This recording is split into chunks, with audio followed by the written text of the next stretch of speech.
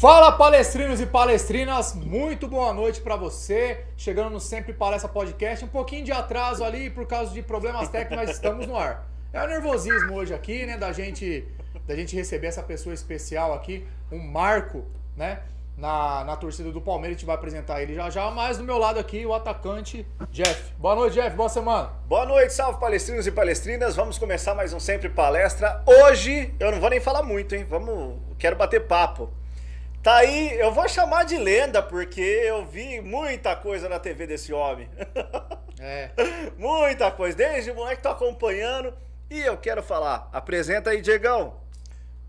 Um prazer receber essa noite aqui, né? Uma das figuras muito importante aí, dentre muitos. Ele vai falar um pouquinho também da história aí, que fizeram parte da construção da torcida do Palmeiras, de tudo que a gente chegou hoje aqui. Então, é, vamos falar uma, um trecho de uma música, né? Paulo Rogério de Aquino, para uns Paulo Serdã, para outros Paulinho. Tá com a gente aqui, Paulinho, Paulo Serdã, da Mancha Verde. Boa noite, Paulinho. Obrigado pelo, por receber o nosso convite. Seja bem-vindo ao Sempre Palestra Podcast.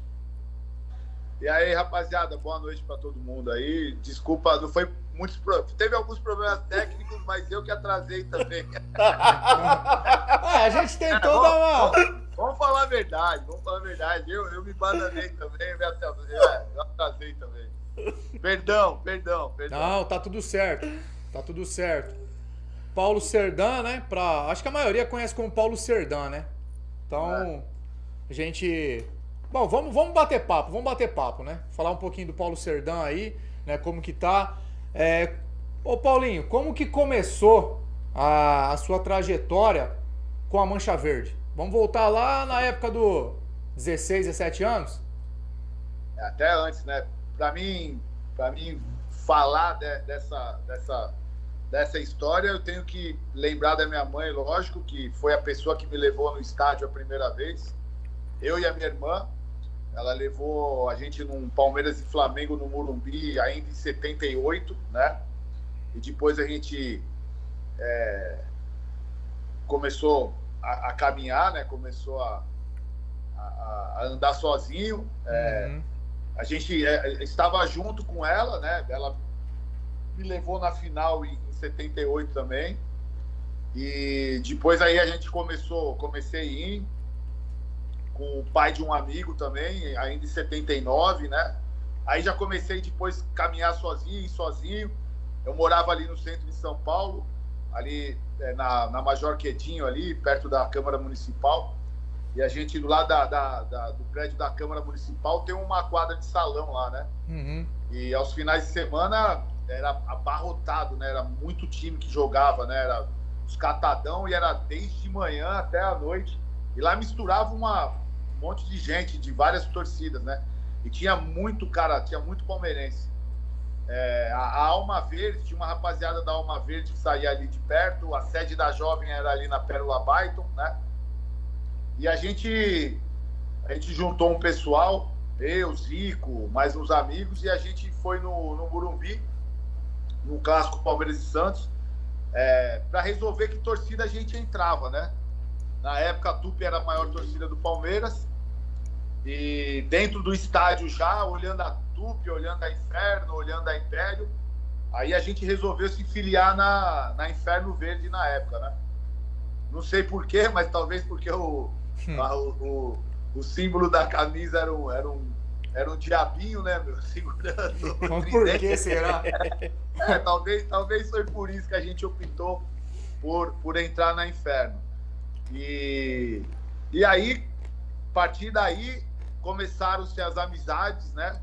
Aí conhecer Cléo, né? conhecer Moacir, e aí começou a trajetória na, na torcida do Palmeiras. E essa trajetória é, foi um marco porque ali realmente deu início ao que a torcida do Palmeiras não podia fazer antigamente, né? Que era ir para um clássico, a torcida do Palmeiras era oprimida pelas outras. Cara, era complicado, cara. Era complicado você ir assistir um jogo a gente ia com a camisa escondida, só tirava a camisa dentro do, do, do Morumbi, né? Na saída do Morumbi, se fosse um Palmeiras e Corinthians, era, era uma tensão desgraçada, porque os caras geralmente quando estava descendo, os caras estavam esparramados ali na, na saída, esperando para escolhendo em quem bater, entendeu? E então assim, é, não era uma fase, não foi uma fase legal assim da torcida do Palmeiras, mas foi uma fase de conhecimento, né? Até a fundação da Mancha, uhum. foi uma fase de conhecimento, da gente se conhecer, conhecer pessoas, conhecer amigos que se tornaram até família, né? E, e aí, a partir depois da, da, da fundação da Mancha, aí a gente já começou com um espírito diferente, né? A gente tinha algumas, né? Nós tínhamos algumas pessoas que, que nos inspiravam, né? Que eram mais velhas, né? Tipo Louco, Tinoco, Dario, né? Tinha, tinha uma rapaziada é, é, que a gente olhava e via que era firmeza, mas eram poucos, né, cara? Uhum. E, e, a gente veio numa molecada que na época a gente andava tudo muito junto, né? Mancha, Tupi, né? Você queria encontrar um ali, você encontrava todos, né? Uhum. Então, assim, a gente tinha uma rapaziada ali de uns 30, 40 cara assim, né? Moleque que a gente caçava assunto em qualquer situação. A gente não saía de dentro do clube. É, dentro do clube, jogo de salão, de basquete, qualquer coisa. Naquela época, ainda chamar a gente de porco era uma ofensa. Uhum. Então, às vezes, a gente estava jogando bola nas quadras lá e vinha alguém correndo e falava assim: pô, os caras estão tá gritando porco lá no ginásio. Aí acabava o jogo, né? Porque a gente caía para dentro do ginásio e e, e, e, seja lá o que Deus quiser, né? E ia bater um papo com os caras. É. E, e a, a, gente sempre foi muito inconsequente, né, cara? A gente sempre foi é, é, muito, é, assim, abusado, entendeu? Uhum. Um, um, a gente não media muitas consequências, né?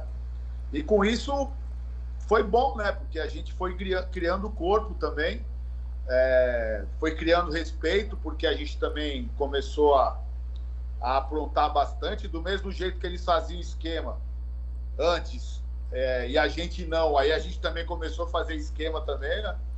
Então, pô, eu lembro no meu aniversário de 15 anos, foi quando jogou São Paulo e Roma. O São Paulo tinha contratado Falcão, acho que era isso, Murumbi lotado, e a gente estava lá no Anhangabaú caçando assunto também, entendeu? E o pessoal esperando eu em casa lá para cortar o bolo. E a gente, e a gente caçando assunto no, no Anhangabaú, que a gente, clássico dos outros, a gente ia para Anhangabaú, Estação São Bento, né? Então, o que eles faziam com a torcida do Palmeiras antes, a gente passou a fazer uhum. com eles. Né? E com isso, a gente foi criando um, um, grande laço, né? Foi criando uma irmandade. E a, e a gente foi conseguindo, com isso aí, reverter o quadro, né? Uhum. Serdão, tem uma, é, assim, dentro do que você está falando, Teve algum ponto em específico que você fala assim, Gé, essa foi a virada de chave? Esse momento X a Y virou totalmente a chave. Tem esse momento ou não? Foi dentro de toda uma história ou teve um ponto crucial que você fala assim, ah, esse momento aqui a coisa virou? Não, tiveram alguns momentos, mas é assim, teve a, a, a acho que em 80, foi acho que 85, 86, no Palmeiras e Corinthians no Murumbi que a gente é, saiu na mão com eles no túnel.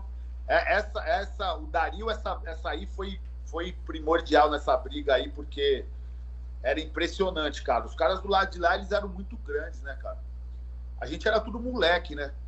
Foi nesse jogo aí que a gente conheceu o Aquiles, uhum. né? Porque o Aquiles também sem freio, quando a gente foi para cima deles, a gente pôs eles para correr. Aí na volta tinha muito aquela época é, você caminhava para cima, de repente os caras juntavam e caminhava para cima desse lado e assim ia naquele túnel até chegar a polícia. E a hora que a gente voltou, o Aquiles ficou. Aí nós fomos buscar o Aquiles, porque quando nós voltamos, nós trouxemos dois deles. Aí nós fomos buscar o Aquiles. E foi aí que a gente conheceu o Aquiles, que eu desci com o Aquiles para enfermaria, o caramba. E, e esse foi um, um, um jogo que é, nos, nos mostrou que a gente, a gente podia, você entendeu? A gente podia. Uhum. É, mesmo depois do jogo, a gente tomando uma invertida ali na, naquela avenida da, da frente do Morumbi, eu não lembro o nome dela, Giovanni Gronk, né? Na época era escuro pra caramba. E a gente tomou uma invertida depois que eles vieram com os ônibus tudo atrás da gente. E, e eu tava no último ônibus, porque tinha tido uns problemas lá, os caras desceram. Quando a gente subiu, eu subi no último ônibus, era até um ônibus da TUP. E aí, quando eu olhei, eu vi uma caminhonete toda apagada, vi vários ônibus subindo, tudo apagado, né? Os ônibus da Recanto. E aí eu fui pulando a catraca, fui pro motorista, falei, passa que é os caras, passa que é os caras. Aí fomos passando, avisando. Quando a gente desceu, a gente tinha uns esquemas de bateria de fogos, o caramba. Quando a gente desceu, a gente montou a fila, que o Cléo foi para cima, já a gente foi para cima. O Cléo tomou uma pancada e já desmaiou, caiu no chão. E a sede nos, dos caras no Cléo era muita, né, mano? Uhum. E aí a gente teve que pegar o Cléo, só que os ônibus começaram a sair fora. Foi quando a gente mudou o presidente, porque o Dorival mandou os ônibus embora. Os ônibus andando a gente carregando o Cléo. Não tinha como largar o Cléo. E aí desmontou todo o nosso esquema, né? Mesmo nessa, a gente tendo levado a melhor dentro do estádio e ali, a, a gente tendo levado a pior ali naquele momento, é, mostrou pra gente que era possível, né? Aí depois a gente teve uma situação com a jovem lá no, no Anhangabaú também. E também tiramos toda a mística da jovem, né? Que era King, uhum. Paulão, uhum. vários caras que eram, que eram lendas, assim, né? E aí até que nem hoje. Hoje eu fui do lado do Morumbi ali e voltei fazendo um vídeo lá no Palácio do Governo, eu né? Até, até coincidência essa, essa pergunta sua aí. Aí eu fiz um vídeo até, quem lembra, e aí até aquele dia de 88 ali, entendeu, cara? Aí naquele dia de 88, é, aquele foi um, pra gente foi um marco mesmo. É, o Palmeiras estava eliminado, a gente foi em um ônibus pro Morumbi. É, tinha, se tivesse 300 palmeirenses lá era muito, né? Palmeiras já estava fora. E na volta a gente tinha alguns carros, né? Tinha o Monza que era do Moacir, tinha o Alfa Romeo que era da Atibaia, caramba. Eu tava no ônibus, eu fui no ônibus e voltei no carro do Moacir. E aí a gente. Eu, eu falei do ponto de ônibus, que parou um pouquinho o ponto de ônibus, aí nós uhum. paramos no, no farol ali e o ônibus parou atrás. O resto dos carros tinha parado lá naquele primeiro ponto que tem. lá Logo atrás. que você sai do, do Palácio do Golfo, da, da rampa do Morumbi ali, da subida, que você entra à esquerda, tem um ponto de ônibus. Uhum. Com a camisa do Corinthians ali. Aí os carros pararam lá, entendeu? Então tava só o nosso carro e o ônibus. Quando eu, eu olho para a pracinha ali, na subidinha, eu vejo os ônibus começar a enfileirar um atrás do outro, e parando, mano. Aí eu falei pros caras, o Moacir tava atrás, não era o Moacir que tava dirigindo, eu não lembro se era o Marcão ou, ou o Formigão, eu acho que era o Formigão que tava dirigindo. Aí eu falei, é os caras, é os caras, os caras não é. Eu falei, é os caras, mano, olha ali, velho, é os caras, mano. Aí já descemos do Monza, né, mano? Aí fomos na porta do ônibus, vamos buscar, desce, desce que é os caras, desce que é os caras. E, e, fomos pra cima dos caras, né? E é, meio que pegamos os caras na surpresa. E os caras estavam nos 10, 11 ônibus, que tava todas as torcidas deles, né, velho?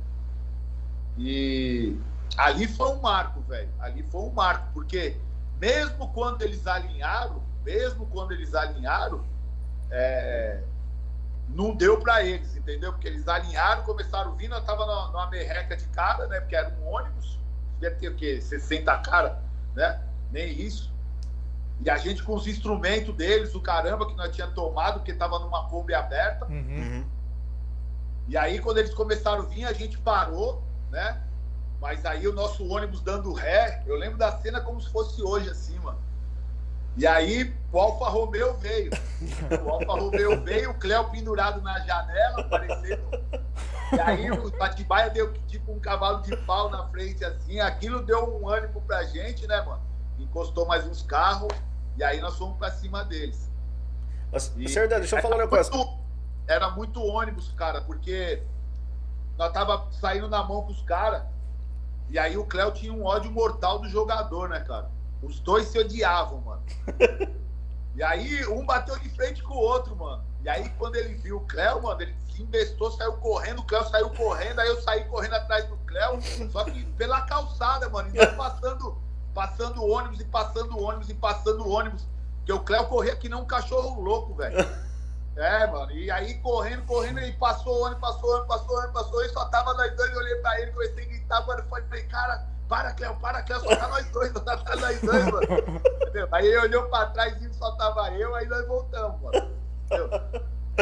Então foi assim, cara, foi, foi da hora. Depois a gente fez um outro caminho, paramos na 23 de maio, aí parou o ônibus, parou os carros, aí todo mundo se abraçando, entendeu?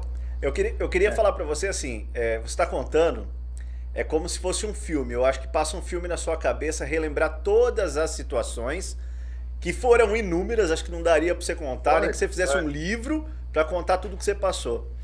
E qual a importância hoje para o palmeirense? Eu não estou nem falando do manchista, estou falando do palmeirense toda essa guerra, toda essa situação que vocês viveram por anos, para que hoje a gente pudesse levar o escudo no peito aqui com orgulho e falar assim: aqui não, aqui é, aqui é palestra. Depois de você contar e narrar isso, e fora tudo que você já passou, como que você enxerga a importância de lá atrás você ter sido um dos pioneiros?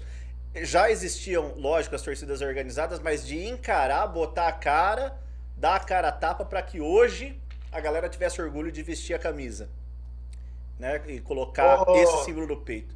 Oh, oh, Jeff, vou te falar assim, mano, a torcida do Palmeiras não cantava o hino do Palmeiras, tio. A torcida do Palmeiras não sabia cantar o hino do Palmeiras, né? Sim. A Mancha ensinou a torcida do Palmeiras a cantar o hino do Palmeiras. Só isso já mostra a importância da Mancha uhum. para a torcida do Palmeiras. Sim. Só por isso a torcida do Palmeiras deveria respeitar a Mancha pra caramba porque a torcida do Palmeiras não sabia o que era o, era o hino do Palmeiras, né? Uhum. Então é assim, é, a gente resgatou uma, uma disposição e uma vontade, um orgulho de vestir a camisa, porque hoje eu vejo algumas pessoas falarem assim, pô, mas vocês amam mais a Mancha ou amam mais o Palmeiras? Você não sei o que. É, cara, os caras não têm noção de que você vestir a camisa da Mancha é a mesma coisa que você tá vestindo a camisa do Palmeiras, né? é, para a gente não existe divisão. É, é, é, é, o mesmo, só que a gente usa a camisa que a gente representa. Uhum. Né? A gente representa uma entidade. Que tem uma que história grande. É, que representa o nosso clube. Que representa o nosso clube. Né? Então, é, é a, a, importância de, de, de, dessa história toda, de todas as pessoas que passaram, que nem eu falei do Dorival, né?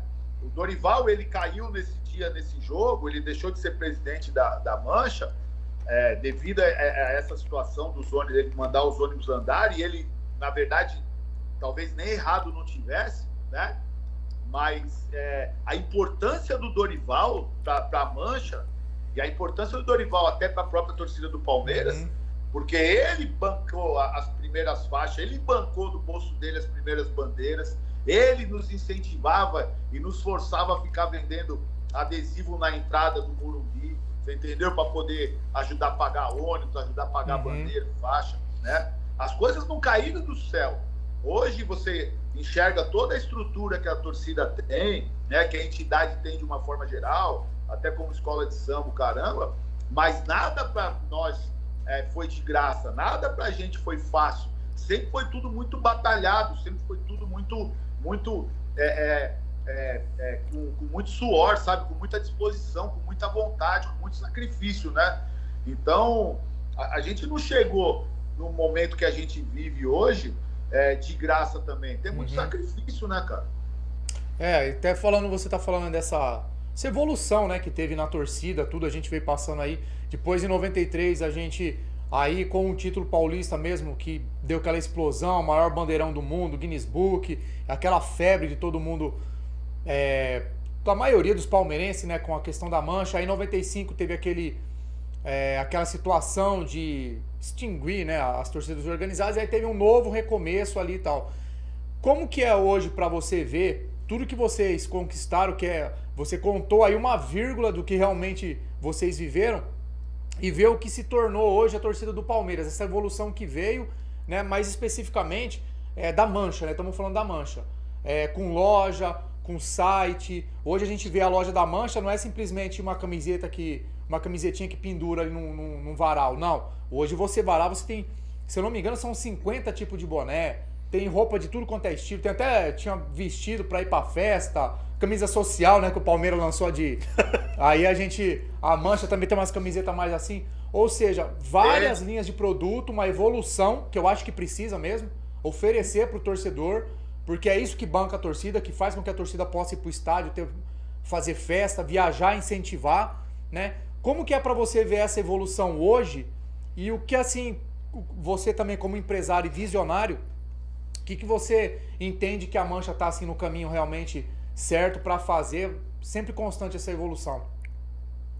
Cara, eu sempre conversei com, com a rapaziada, é, que quando eu assumi a torcida, a torcida estava praticamente falida, né? Uhum. A torcida é, não tinha sede, não tinha banheiro, não tinha água, tava com, com uma luz com uma fase só, aquela luz amarelinha, era a sede na Padre Antônio estava nojenta, estava feia. E aí é, é, eu, eu, eu, sacudi aquilo, né? E a gente começou a mexer, a, a mudar, a, a transformar, a, as coisas serem limpas, a ter atividades, né? A lançar produtos, a lançar. Eu enxergava as coisas e falava, mano, é isso aqui que nós vamos fazer. Quem lançou os primeiros bonés bordados é, foram, fomos nós, uhum. né? Porque na época você tinha que pagar o disquete, você tinha que pagar o programa, era caro pra caramba, era muito mais caro do que fazer o boné. É. Uhum. Gabriel que fazia os bonés pra gente, e depois se transformou no, no, maior empresário de bonés das torcidas, e até hoje ele tem uma puta empresa de boné.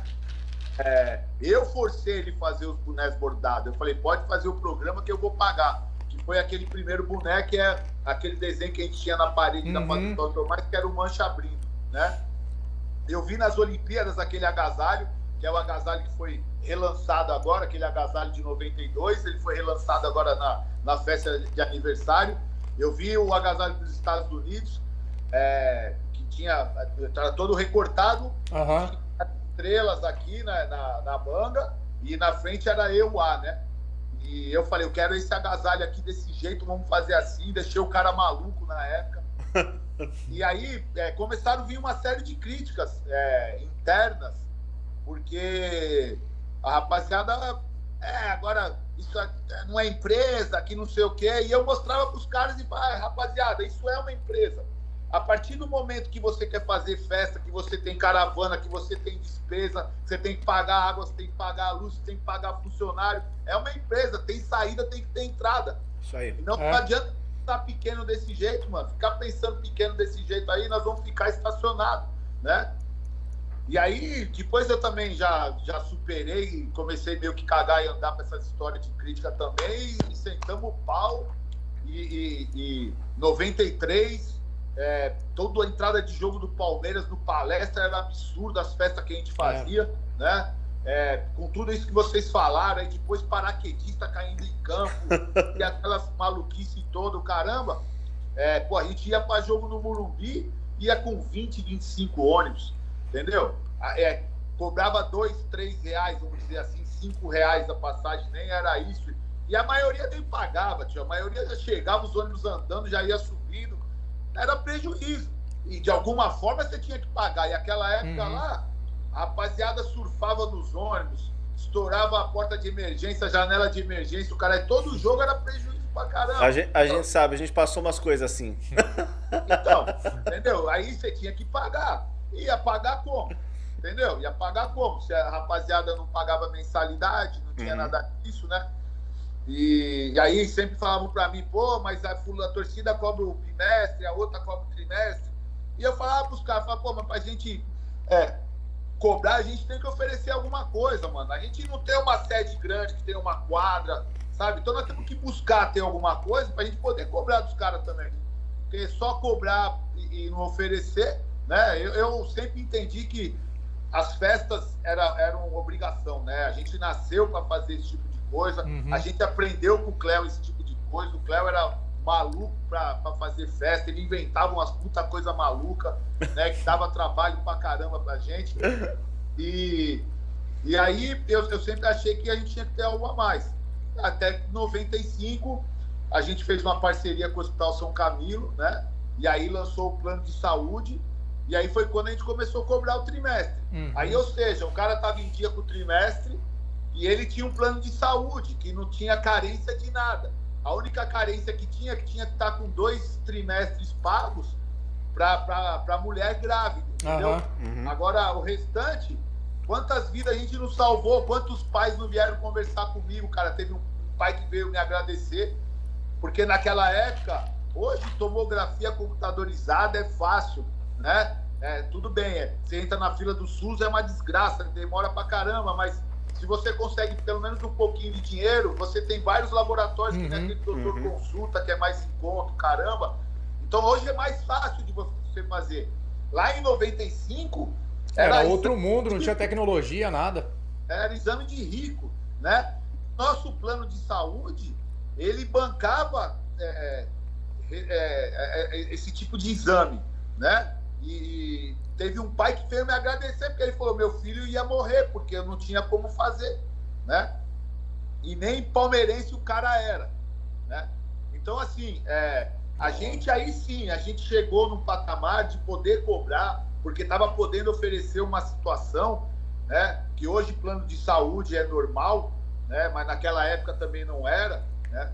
E o Hospital São Camilo, esse da Pompeia, hoje é, ainda é uhum. é bom, é muito bom, mas naquela época ele era muito melhor, né? Porque perto dos outros era tipo um Einstein, né, cara? Então, assim, a gente podia oferecer alguma coisa. Nessa época, a gente tinha bicicleta, cara. A gente tinha bicicleta 21 marcha com aquele câmbio Shimano, caramba. A gente tinha relógio de pulso. A gente tinha, acho que, 115 é, é, itens para, para ser vendidos na loja, entendeu?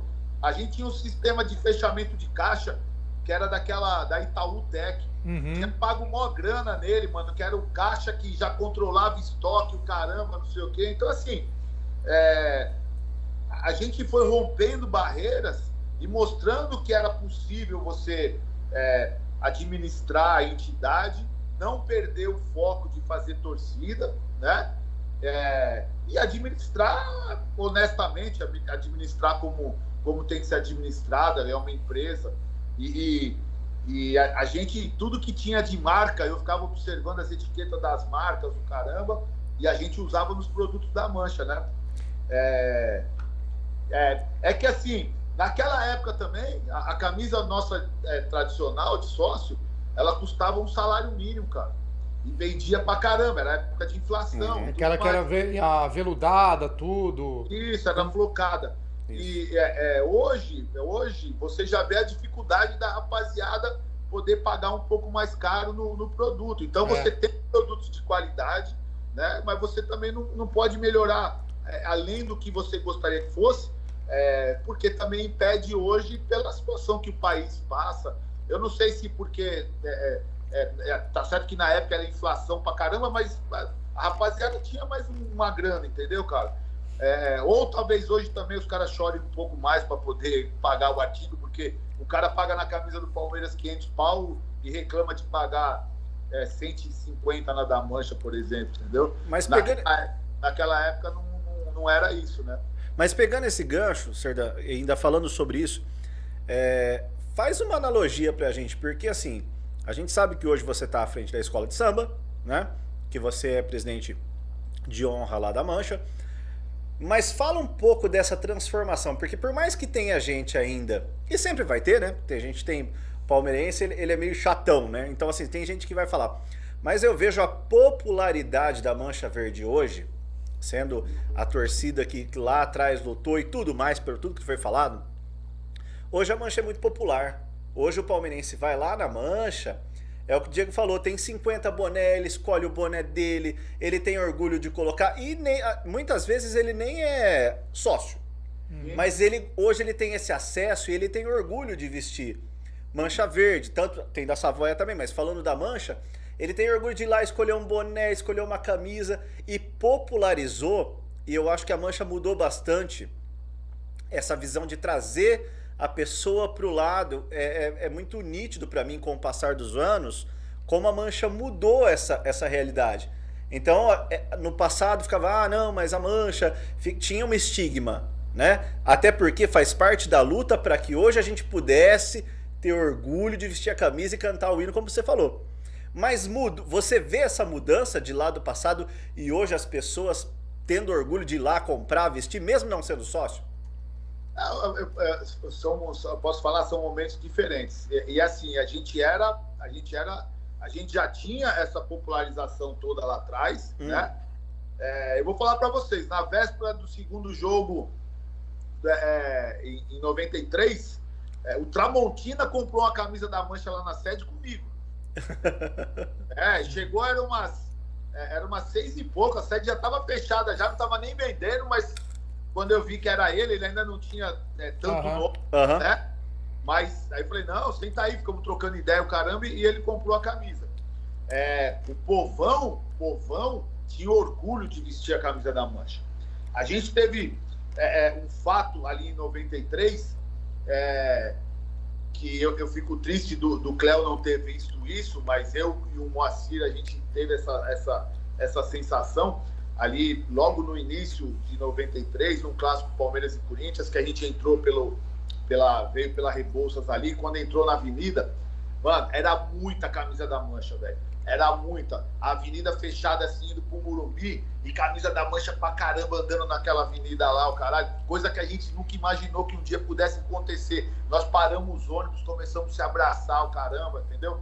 É, eu acho que é, houve, infelizmente, com toda a amizade que eu tinha com, com, com o Paulo Nobre, né, com toda. O Paulo ajudou muito no distanciamento da nossa da, da, torcida do Palmeiras com a Mancha, quando ele começou a falar contra pra caramba, né? É, o Mustafa tentou alguma coisa, mas não conseguiu, porque o Mustafa, com todas as atrapalhadas que ele fazia, o caramba, então a torcida não abraçava, né? Era um uhum. outro momento também, né? Não tinha rede social, isso aí, então o Mustafa uhum. não conseguia tanto avanço e a gente tinha muito acesso à, à mídia, né? E hum. já no Paulo já não era assim.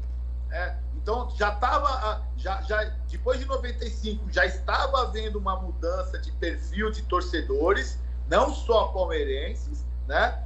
E com a chegada do Paulo, porque aquela situação de 95, ela expôs demais a, a, as torcidas organizadas, né? Principalmente a Mancha. Sim. Pô, você você andar naquela época lá com a camisa da mancha na rua, você é maluco.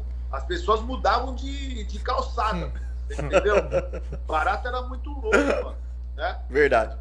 Então, assim, o Paulo, o Paulo que acertou muito e também errou muito, como o Maurício, como todos. Isso é normal. Hum, é normal. Então, e também é normal ser cobrado, caramba. Mas assim, o Paulo, ele fez questão de trabalhar com a moral que ele tinha do torcedor do Palmeiras ele fez questão de trabalhar, usar isso já no momento onde já existia rede social, caramba, e trabalhar contra a entidade, né? A, a Mancha ainda ajudou um pouco, tomou algumas atitudes é, é, equivocadas, né? uhum. né? É, quando quebrou lá o, a, a, sede do Avante, né? Aquelas uhum. coisas todas. Então, assim, é, acabou que foi ajudando um pouco, né?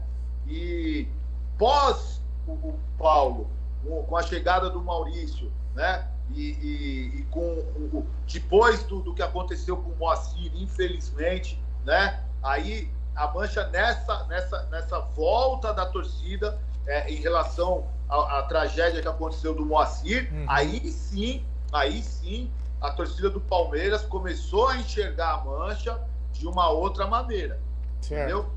Aí teve alguns fatos, né? Aquele jogo lá no, no Uruguai também, teve alguns fatores que não foi, aquilo não foi nada diferente do que a Mancha já fez uhum. É, centenas de outras vezes com a torcida do Palmeiras de proteção. Mas ali é, também estava ao vivo, no momento onde todo mundo usa a rede social. Exatamente. Mais, é? Então se ganhou uma outra conotação.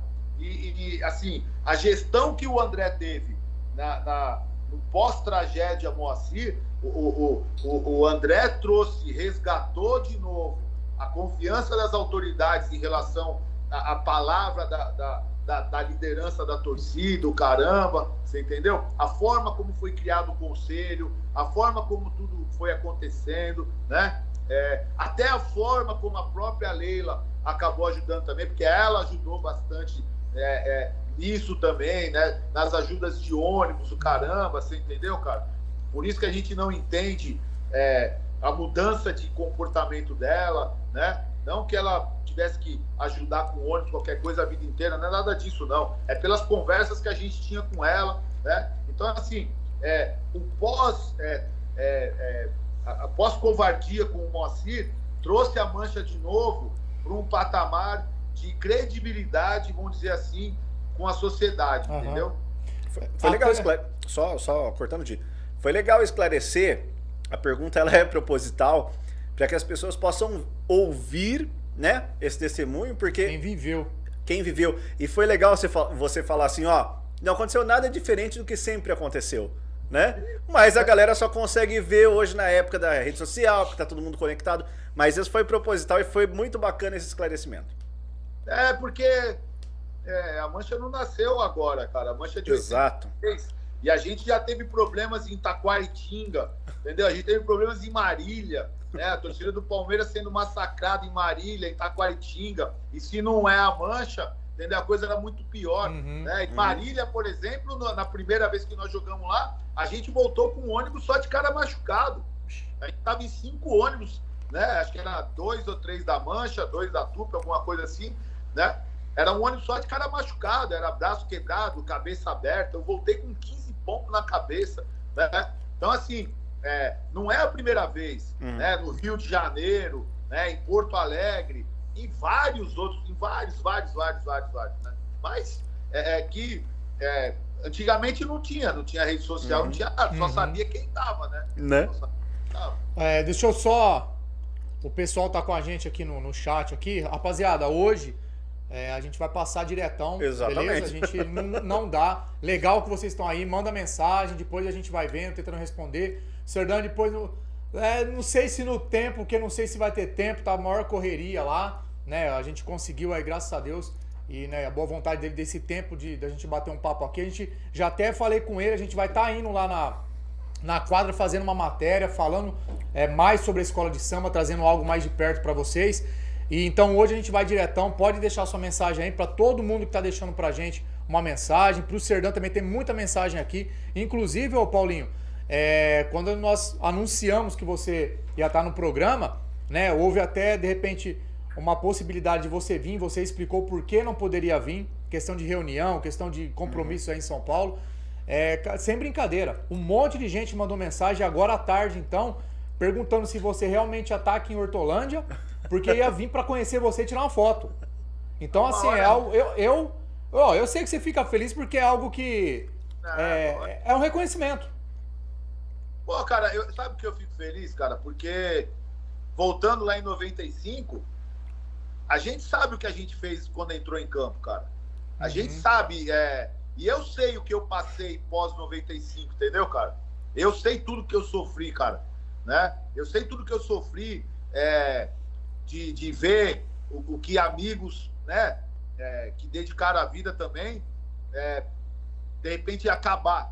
Eu me cobrava disso, eu falava, pô, mas não, não, não pode acabar na minha mão, cara, sabe? Não pode acabar na minha mão, não, não, não, não posso ser esse cara que, que vai marcar isso, uhum. entendeu, cara?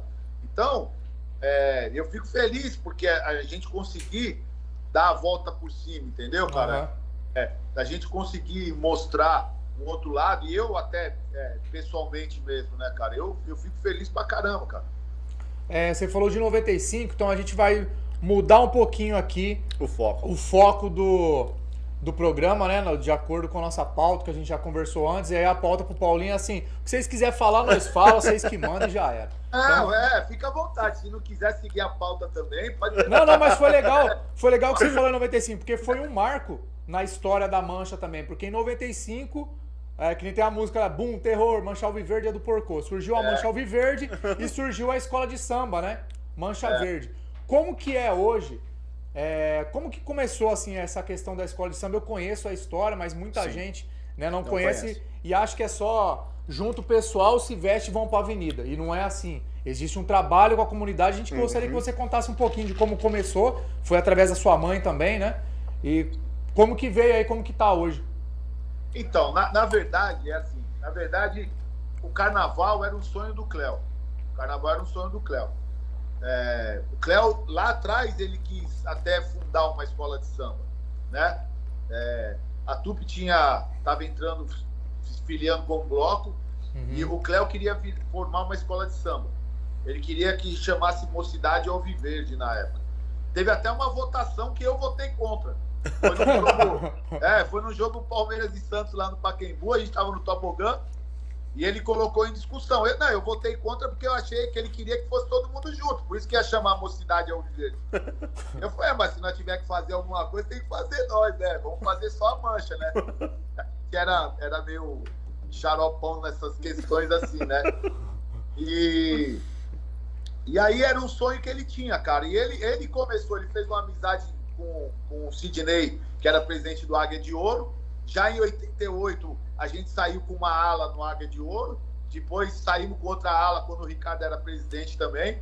A gente estava preparando uma, uma, uma, fusão, né? Ainda ali em 95, antes da briga, da gente já, já se fundir com uma outra escola de samba de um grupo menor uhum. e já entrar como escola de samba. E aí aconteceu a, a briga do Pacaembu. Quando aconteceu a briga do Pacaembu e entraram com o pedido de extinção, aí eu falei, cara, a coisa vai ficar complicada pra gente, né? E também já não dava mais para fazer a fusão com outra uhum. escola, porque uhum. a gente fazer a fusão é, com a mancha funcionando, tendo caixa, o caramba, era fácil. Agora fazer a fusão do zero, não podendo ter atividade, essas coisas, ainda tava morto, né? Então, é, vamos fundar o bloco carnavalesco. Falei, a gente começa como bloco, né? E depois, a hora que a gente sentir uma firmeza, a gente vira escola de samba. A gente fica como bloco, porque a torcida não podia é, ter atividade, porque tinha uma liminar nos proibindo. Era uma multa diária de 100 mil reais se a gente respeitasse a, a determinação da justiça. Então a gente não podia. Então a gente fundou o Bloco Carnavalesco, né? que já foi um tapa na cara do Capês na época que ele tentou brecar, mas não tinha como, porque uhum. era um outro CNPJ e a função era outra, né? A atividade era outra, né? E, e aí começamos como um bloco carnavalesco em 96. É, cru, sem saber fazer absolutamente nada. O Águia de Ouro foi muito importante para a gente, uhum. né? Porque o Sidney emprestou a quadra para nós, ajudou a gente pra caramba a fazer tudo, que a gente não sabia fazer absolutamente nada, né? E aí a gente se reunia na quadra para jogar bola, caramba. Aí eu corri atrás, reformei a, a, quadra deles lá, a quadra de salão, né? Aí a gente fez um, uma, umas outras salas lá em cima, deu um, talento lá na quadra do Águia e começamos a frequentar todo sábado. Às vezes dava 14, 15 times lá. Em 96, a gente proibido de, de entrar no estádio, caramba. Às vezes o Palmeiras estava jogando no palestra e nós estava lá no Águia, lá jogando bola e, e, e, ficando de alerta, entendeu? Que se tivesse alguma coisa, a gente caminhava, uhum. porque a gente não podia nem chegar perto né, do estádio. E a gente ia para jogo fora, pegava os carros e ia embora para jogo fora. Aí em 97, em 97, a gente chegou na final, né? É, contra o Vasco. E a gente, quando o, o, o, o, o Filipão chegou, o Filipão se aproximou demais de mim, né? E aí a gente, cara, trocava muita ideia e ele ia passando as caminhadas de quem estava dando trabalho e quem não estava. E a gente ia cobrando os jogadores do caramba, ou seja, a gente começou a ter uma atividade muito forte, né? Quando chegou na final, como que a gente ia alugar os ônibus pro, pro jogo lá no Rio? Não tinha como, uhum. né? Porque ia sair com 40 ônibus, por exemplo, e a gente ia, eu tava fudido, eu ia em cana, ia ser preso, porque a gente ia é, alugar ônibus, quem que tava alugando? Era a mancha, era ah, o Tava proibido então, de ter qualquer tipo de atividade, né? É, ia ser prisão perpétua pra mim, né, cara? e, e aí eu tava. É, e de verdade, mano, eu, eu conto isso aí e os caras não acreditam. As melhores, as melhores ideias que eu tenho é de manhã, quando eu tô no banheiro pra tomar banho, eu tô cagando. Eu sento na privada e eu fico pensando. E aí, numa dessas aí, eu pensando o que eu ia fazer, mano. Eu falei, cara, nós temos que dar um jeito. Aí veio a ideia de, de colocar o Alvin, né? Eu falei, pô, se deu certo no, no bloco, uhum. vai dar certo na torcida, né? Aí chamei o Marcão, que era diretor nosso, puta de um cara competente pra caralho, que fazia essas partes de documentação. Falei, Marcão, o que, que você acha? O Marcão falou aí, nós tinha um esquema lá no quinto cartório, né? Tinha um cara lá que era palmeirense pra caralho, nós dava as cartas pra ele, e o cara, ele acelerava os baratos pra nós, né? Ele dava gente pra caramba. E aí, o Marcão falou, ó, vamos fazer o seguinte, eu vou preparar o estatuto, aí eu vou mandar para ele, levo lá, troco uma ideia com ele, para ele dar uma analisada pra gente e falar se vai ter algum tipo de problema. Uhum. Falei, da hora. Aí, um dia, nós tava lá no Águia, lá jogando bola, e chegou um repórter da Folha. O cara tinha acabado de vir de Salvador, o nome dele era Fábio, se eu não me engano. E ele veio conversar, entre, querer entrevistar o caramba, não sei o quê, e ele tinha acabado de chegar em São Paulo, tava querendo arrumar um, umas matérias boas para ganhar um espaço. E eu falei para ele, falei, ó, oh, mano, eu tenho, eu tenho um barato para passar para você, só que eu vou falar para você só para você, mas você tem que me dar né? Tipo, primeira página, que eu falei, pô, se não tiver a primeira página da Folha, não sai de mais Nossa, nada. Aí, né?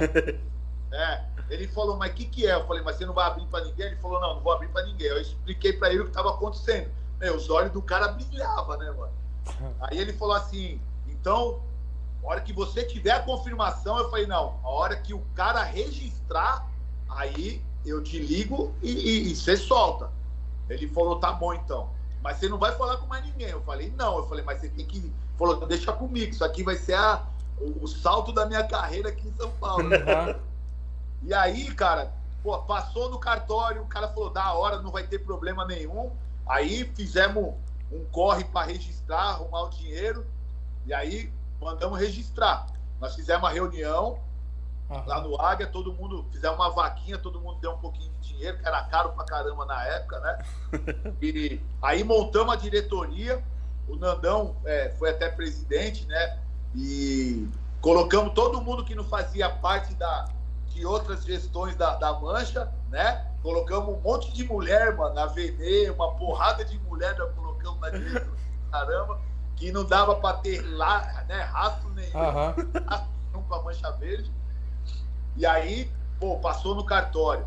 Mano, quando soltou o barato é, na folha, o Capês ficou maluco, velho. Ficou maluco, mano. Vocês podem puxar aí ele dando entrevista, porque os caras iam pra cima dele, falaram, pô, eles burlaram a lei, não sei o quê. Não, ele, aí ele deu entrevista e falou assim, não, eles estão muito bem instruídos juridicamente, não sei o quê. Falei, eu tive tem, a ideia cagando. Tem um, vídeo, tem um videozinho dele que ele fala, né? É, esses malditos torcedores da Mancha Verde. É verdade. Virou meme. É, virou meme. Esse, foi esse foi o Coronel, esse foi o Coronel Marinho. Isso aí, na final de 96. Ah, foi o Marinho, é verdade. Que... É, foi o Coronel Marinho.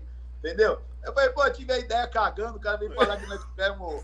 É, tava instruído juridicamente, entendeu? E aí, cara, a gente foi caminhando as duas, né? Foi caminhando as duas. Aí em 98 a gente invadiu o terreno lá na Abrão Ribeiro, onde a gente construiu a nossa primeira quadra. E aí, no primeiro ano, montamos lá uma tenda de circo. Aí fizemos carro alegórico lá já em 98. Aí em 99, os caras estavam onde é o Walmart lá, era o Walmart. Aí os caras estavam desmontando para montar o Walmart. Eu, eu cheguei e, e, e vi a, os caras desmontando a estrutura, entrei lá para perguntar se o cara ia vender. Ele falou: não, eu desmonto para vender. Eu falei: não, eu vou comprar. Ele falou: não, o rapaz aqui está negociando. Eu falei: não, não, segura aí que eu vou comprar. Não negocia com ele, não. Eu pago mais para você. Mas eu não tinha um tostão, mano. Aí saí, fui, liguei pro um amigo que é o Júnior da Brook, né, o Osório Furlan, e falei: Júnior, é, tem ali a cobertura, o caramba, o cara tá, tá descendo ela e é perfeita pra gente. Ele falou, volta lá e vê quanto que é, vê se ele parcela. Aí eu voltei, aí eu negociei com o cara, aí o cara, comprei com telha e tudo, puta cagada que as telhas veio tudo quebrado, e depois tivemos que comprar as telhas tudo de novo. Mas é, é, é foi a condição que ele falou para vender para mim, né? E não vender para o outro, só se eu comprasse com as telhas também. e aí ele parcelou, acho que foi cinco vezes, aí o Júnior bancou. E aí foi uma, uma mano, uma, uma batalha, uma guerra para montar a quadra, uhum. para colocar, a, a, fazer, o, fazer a terraplanagem, fazer o asfalto. E, e, e, aí foi indo, cara, sabe? E, e a gente foi crescendo. Em 96, como bloco, sem saber nada, a gente foi vice-campeão. subimos para o grupo 1 de bloco. Aí já em 97, já tendo uma experiência, fizemos um carnaval da hora maior, muito maior.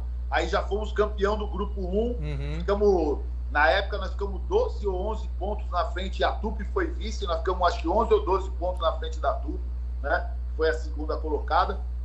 Aí em 97, aí subimos para o grupo especial de bloco.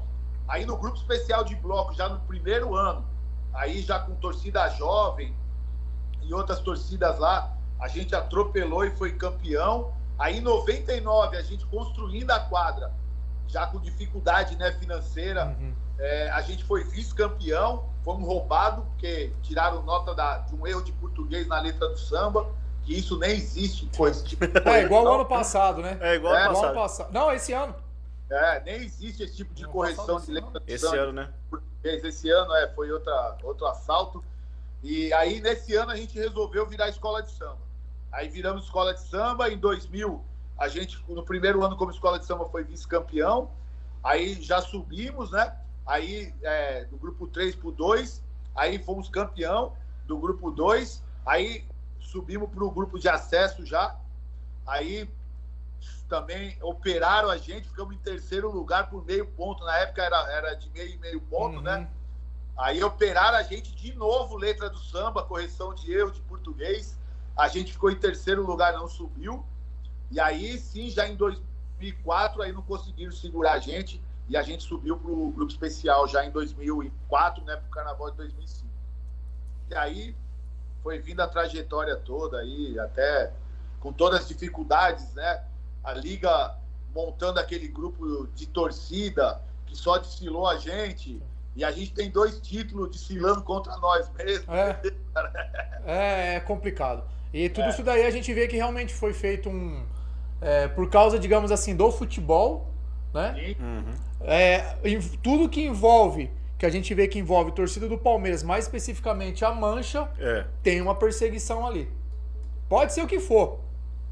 Ah, e se você for analisar, a nossa trajetória, ela se confunde com a trajetória do Palmeiras. Do Palmeiras, sim. Porque eu te contando essas coisas aí, você vai vendo o tamanho da. A Mancha foi a única torcida extinta. Entendeu? A Mancha foi a única torcida extinta. As outras, todos eles entraram com um processo contra todo mundo e no meio do caminho foram abandonando. Né? né? Ó, o nosso advogado era o Iberê Bandeira de Melo, velho. Era o Iberê Bandeira ah. de Melo. Então, né, que era o, o, o, o meu, puta do jurista. Não, né? não, não é qualquer um. Não, e, ele, cara, e ele não acreditava, velho. Ele não acreditava. Eu fiz uma amizade com ele. Eles são. É, é, é, eu não lembro se ele é Santista e o filho é corintiano, né? Mas eles ajudaram a gente demais. Ele, ele tomou como pessoal. Ele, ele não cobrou um tostão da gente, cara. Ele não cobrou um tostão da gente, sabe? E ele não acreditava, mano. Ele falava assim, mano, né, não tem como isso não ser revertido. E aí, também depois, quando no, no, aqui no Tribunal de São Paulo deu, aí eu falei para ele, falei, não, nem vamos recorrer mais, né? Nem, nem foi para Brasília, até porque eu também não ia poder ficar explorando o cara o tempo uhum. inteiro, e se fosse pagar o que ele ia pedir, a gente não tinha essa grana, né, cara? Então, é, Aí eu falei, nós deixa que a gente vai dar um golpe neles aí, a gente, a gente volta. Foi meio que é, é, você mudar de, de palestra Itália para Palmeiras, entendeu? Né? Foi mais ou menos a mesma coisa. Entendeu? Aí você falou para ele, né? Falou, deixa amanhã cedo, a hora que eu for tomar banho. É, eu vou ter, eu uma, vou ter ideia. uma ideia.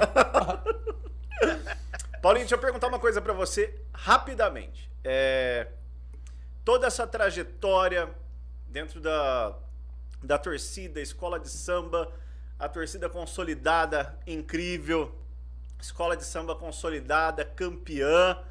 E a gente vê, acompanha, né, a apuração, a gente vê o estado que você fica lá. É, Mas ol, olhando a sua trajetória hoje, hoje, quando você olha para trás e vê onde você chegou, tanto na torcida quanto na escola de samba, você, você dá aquela respirada e sente assim, ufa, dever cumprido? Cara, é, é assim. É, antes eu tinha a, a, o dever, é, eu me sentia em dívida com o Cléo, sabe? Sim. E aí, quando aconteceu a situação da morte do Moacir, aí eu já tinha uma dívida com o Moacir, principalmente com a escola. Que o Moacir era um puto incentivador, cara. Ele, ele, não, ele não deixava eu Quando eu parei lá em 95, é, meu filho nasceu, caramba, e eu parei. E, e aí um dia os caras foram em casa, é, saíram de uma reunião na quadra e foram em casa, foram uns 10 carros em casa lá. Pô, Paulinho, você tem que voltar porque tá difícil. E aí a rapaziada falou que se não tiver uma sede, não tiver um telefone, eles vão parar. E que então você tem que voltar. E eu falei, mano, não tô afim, não sei o quê. No outro dia eu falei com o Moacir, eu falei, ó, oh, Moacir, eu volto se você voltar junto, mano. Se você estiver junto comigo, porque ele também tinha desanimado, né? Uhum. E tava bem, ganhando dinheiro pra caramba, né? Porque ele mexia com as piratarias de, de vídeo, essas coisas todas aí. E ele falou, não, vamos junto, vamos junto.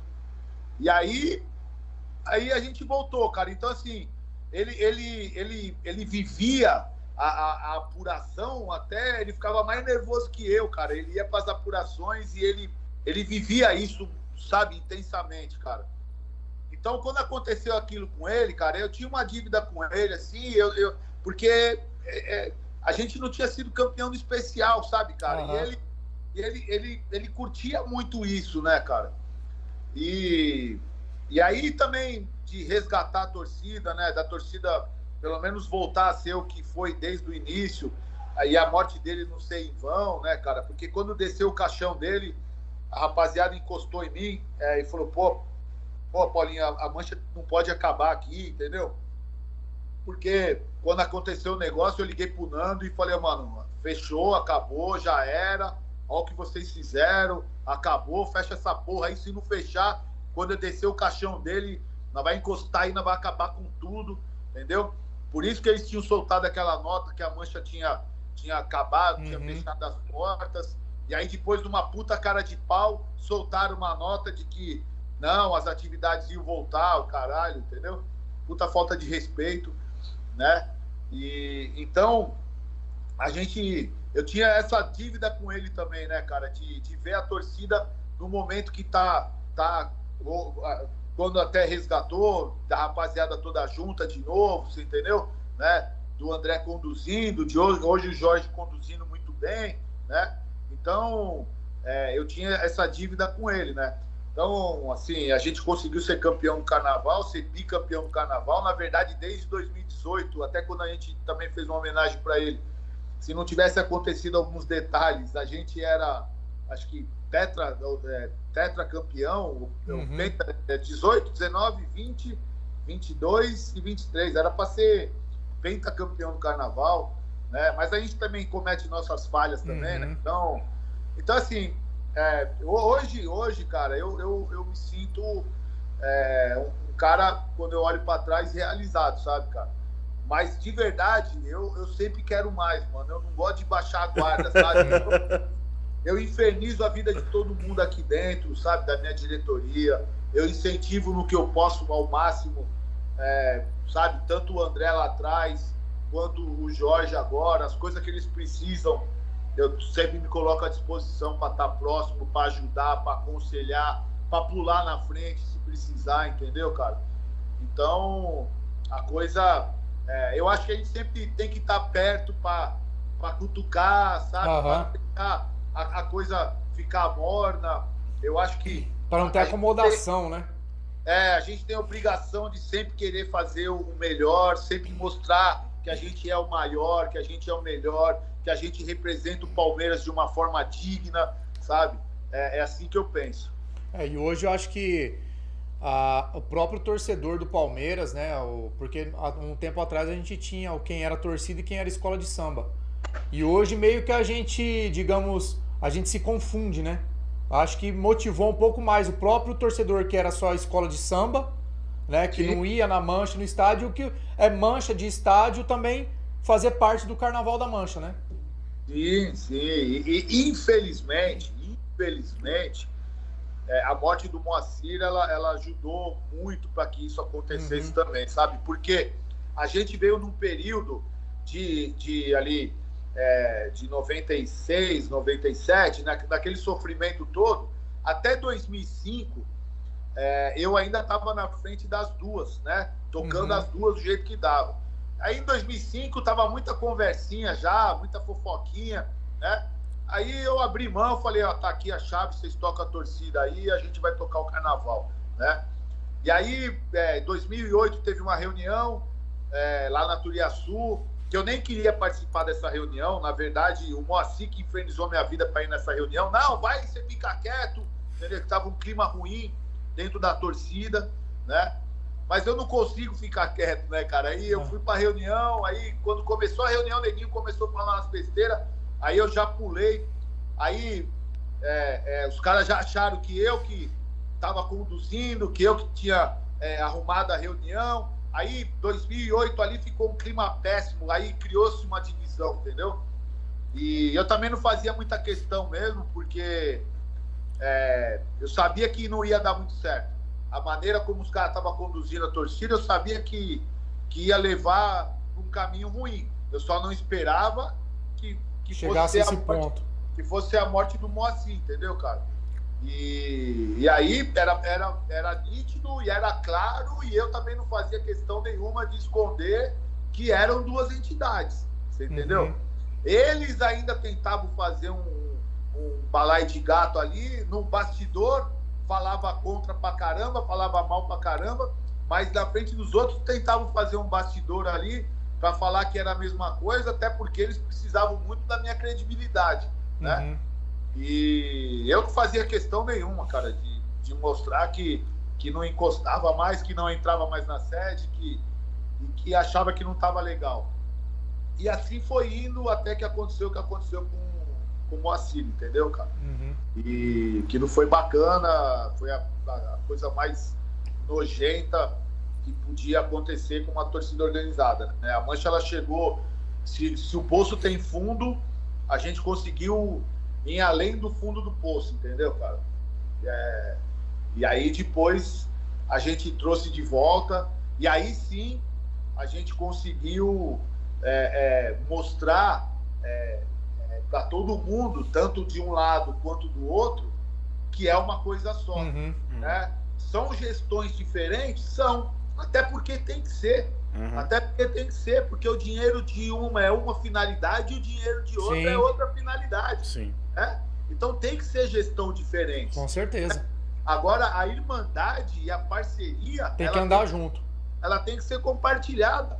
Você entendeu? É, todo ano eu compro lá um setor da arquibancada. Né? Esse ano eu até mudei, comprei é, é, metade do, do setor E e metade do setor A, que é já para dar um calor logo no começo lá do desfile, a gente já ter metade da arquibancada lá e a outra metade lá no final. Uhum. Né? E mais o restante que a gente compra para colocar as faixas de todo mundo, a gente compra é, gente em todas as as arquibancadas. né? Aham.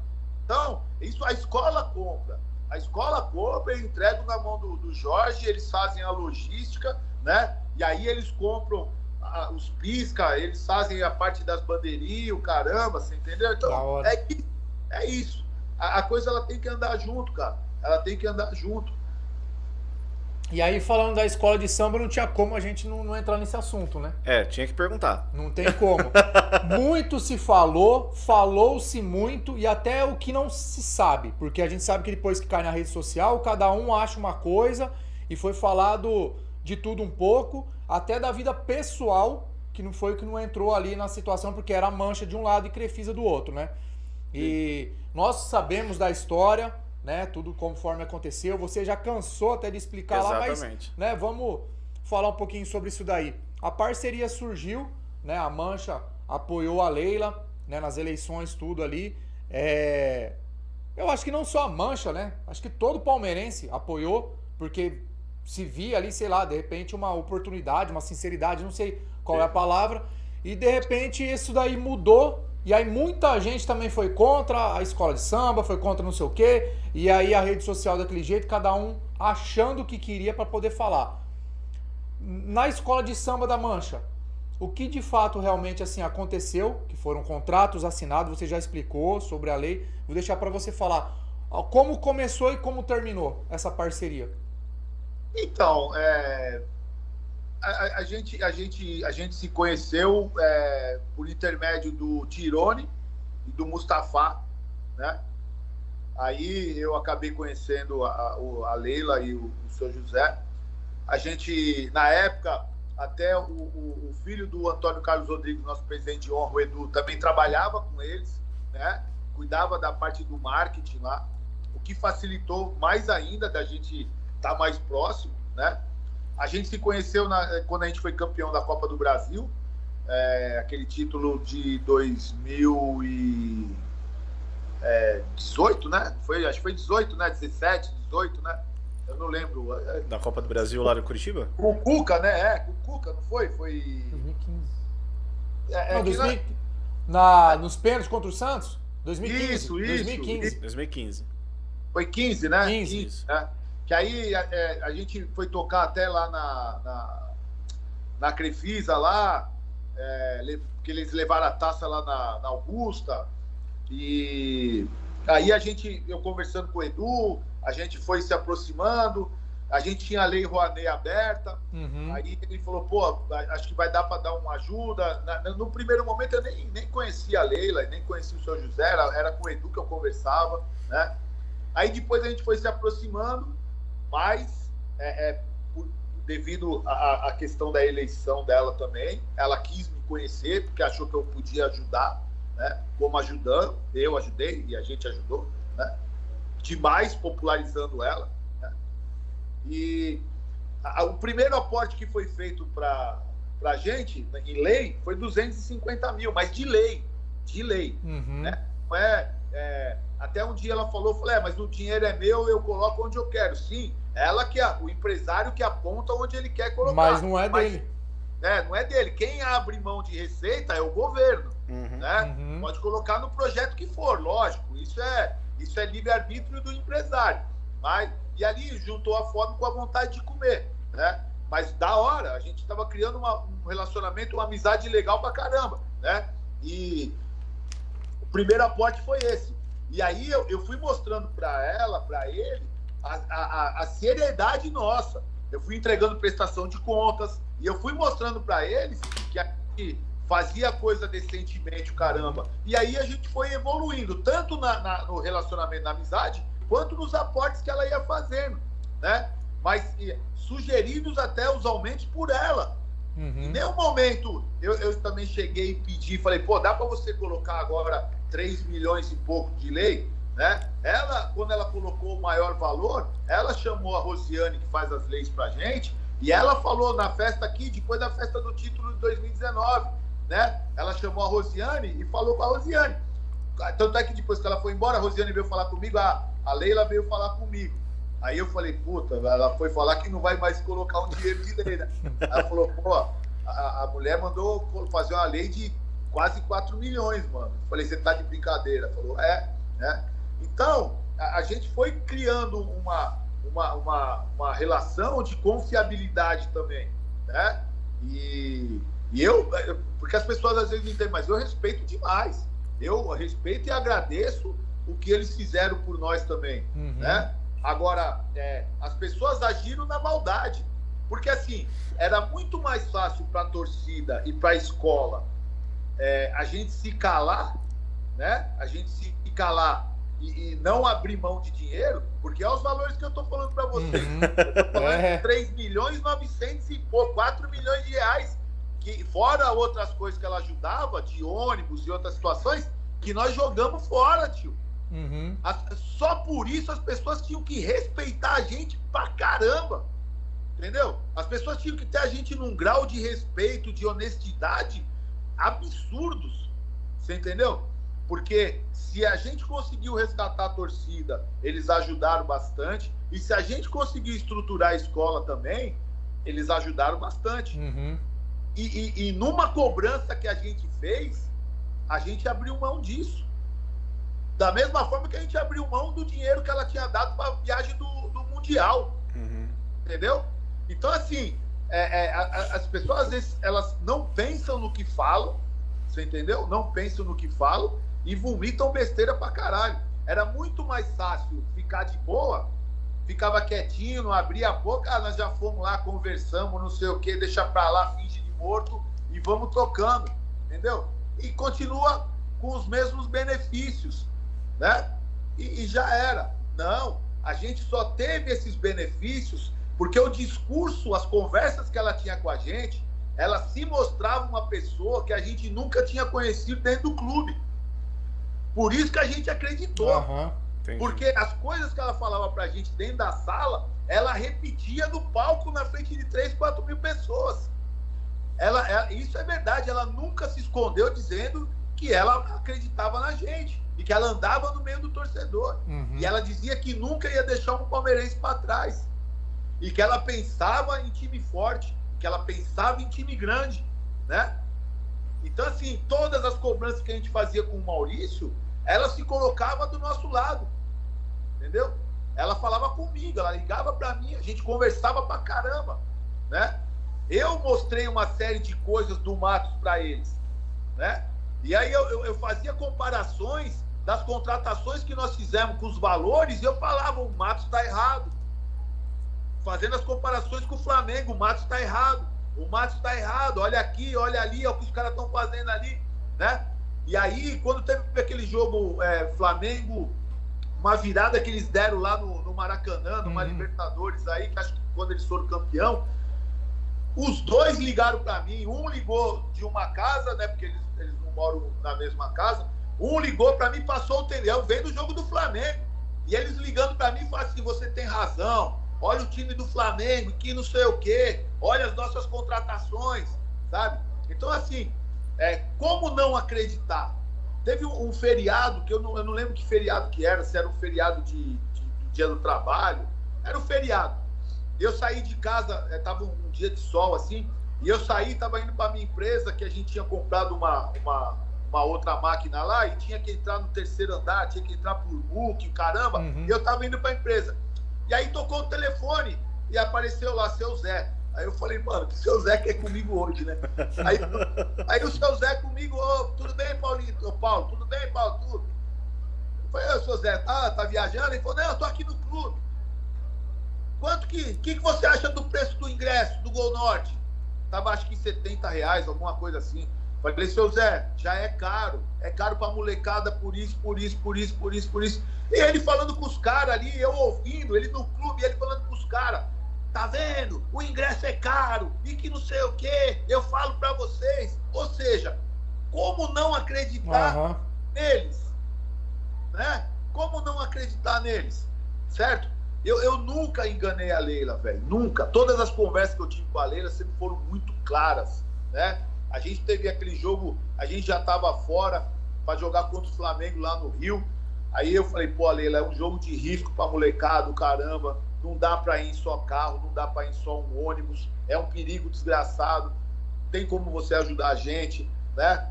É, porque tem que ir o time certo, não sei o quê. Ela falou, não, eu ajudo. Uma outra vez no Nordeste também, né? Sempre fui muito claro e verdadeiro com ela. E ela também se parecia ser muito clara e verdadeira, né, cara?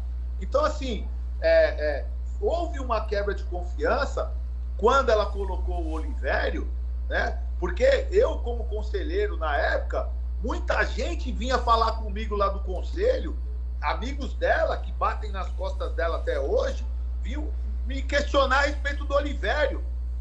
Às vezes chegar com ela no clube. E eu falava os caras, oh, rapaziada, vamos separar as coisas. Ele trabalha para Leila. Uhum. Pô, Paulinho, mas e, e se ela for presidente e ela colocar ele dentro do clube? Eu falei, não, mas isso ela não vai fazer, ela não é louca para isso. Entendeu? E a primeira coisa que ela fez foi, foi exatamente isso. E quando a gente foi conversar isso com ela, ela simplesmente não aceitou, cara. Ela, ela não entendeu. E, e num primeiro momento ela até entendeu, mas aí quando soltou a nota, ela já se mostrou rebelde, chateada e puta pra caramba, assim, entendeu, cara? E eu sabia que isso ia acontecer também, entendeu? Eu tinha certeza disso. A, a, a molecada soltou a nota, era 8 e meia da manhã, 15 para as 9, ela estava me ligando, entendeu? e ela achou que eu tinha que, que, ter posto a mão, eu tinha que, né? Porque eu falei para ela, é, os cara, o Reginaldo mandou o texto para mim antes, aí eu dei uma, uma mexida no texto lá, falei, mano, é, eu não acho isso aqui legal, isso aqui tá agressivo, isso aqui acho que não tem necessidade, o caramba, né?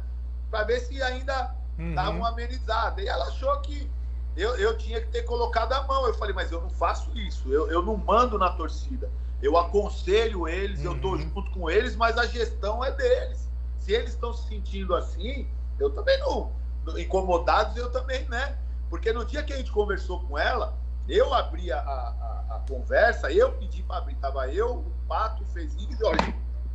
Caiu aqui o, telefone. eu, eu, Pato, Fezinho e Jorge, né? E aí eu, eu, eu, eu falei, eu abri a reunião falando para ela, eu não vou falar como conselheiro e não vou falar como presidente de honra da torcida. Eu vou falar para você como seu amigo, né? Eu falei, é desconfortável, é desconfortável para mim, como seu amigo, né? Por ver que as pessoas que batem nas suas costas é, não falam a verdade para você. Ela falou assim, pô, mas aí eu vou ter que agora ver o time que o cara torce para me contratar. Eu falei, não, nós não estamos falando isso aqui, não. Lá tem um monte de cara que torce para os outros times que ajuda a gente pra caramba, uhum. que trabalham em prol do Palmeiras. Né? Mas a relação do Olivério com a cúpula do Corinthians é totalmente é diferente. Entendeu? É to... Ele tem relação de, de confiabilidade com os caras também. Eu falei, numa hora que o, o André estiver o Olivério tomando uma cachaça num puteiro da vida, caramba, é papo de homem. É papo de homem. Entendeu? Não é que o Olivério vai estar tá caguetando, mas vai estar tá trocando ideia. E é. ele vai passar coisas pro nosso vestiário que ele não deveria falar. Que começou entendeu? a aparecer um monte de coisa na mídia, né? É, exatamente, você entendeu? Então, assim, é... aí, cara, ela se transformou, né, cara? Ela se transformou, ela, ela, ela já na final do, do da, lá no Mundial, ela já já estava diferente, né? Ela já estava diferente, porque não tinha lógica ela não contratar um, um jogador. Isso foi dito para ela. Eu disse, o Jorge disse, Fala, você trazendo um jogador pelo menos, você já tira a pressão de cima de você, né? E, e aí ela já se transformou, aí já o lado capitalista dela, o lado banqueiro dela, já estava falando mais forte, né? E, e é, sempre me pareceu que, que ela realmente estava esperando um, um, negocinho desse tamanho para poder é, é, romper a relação, você entendeu? Porque a gente sempre conversou, mano. A gente sempre conversou e sempre ficou claro que a gente não ia concordar com tudo. Uhum. Sempre ficou claro que quando a gente não concordasse, a gente ia sentar e ela ia explicar para a gente os motivos, né? Sempre ficou claro isso entre, entre nós, entre a, nossa relação, né? E, e, e ela, quando assumiu, assumiu e a, a, ficou com a caneta na mão, como ela mesmo disse que a caneta é dela, ela decepcionou, entendeu, cara? Ela decepcionou. E aí é isso, é, é, a relação foi essa. E aí as pessoas ficaram com as maldades da vida. Ah, agora eu quero ver a mancha. Aí o, as outras, né, outros caras, de, torcedores de outras escolas e, e palmeirenses também, quero ver agora. É. Quero ver agora o quê? Quero ver agora o quê? Entendeu? A gente foi campeão, né? E, e no, no Carnaval de 22 não, não fomos bicampeão aí, tricampeão agora por acidente, cadê o dinheiro dela? Né? Cara, os caras acham, é isso. A Mancha, ela nasceu em 83.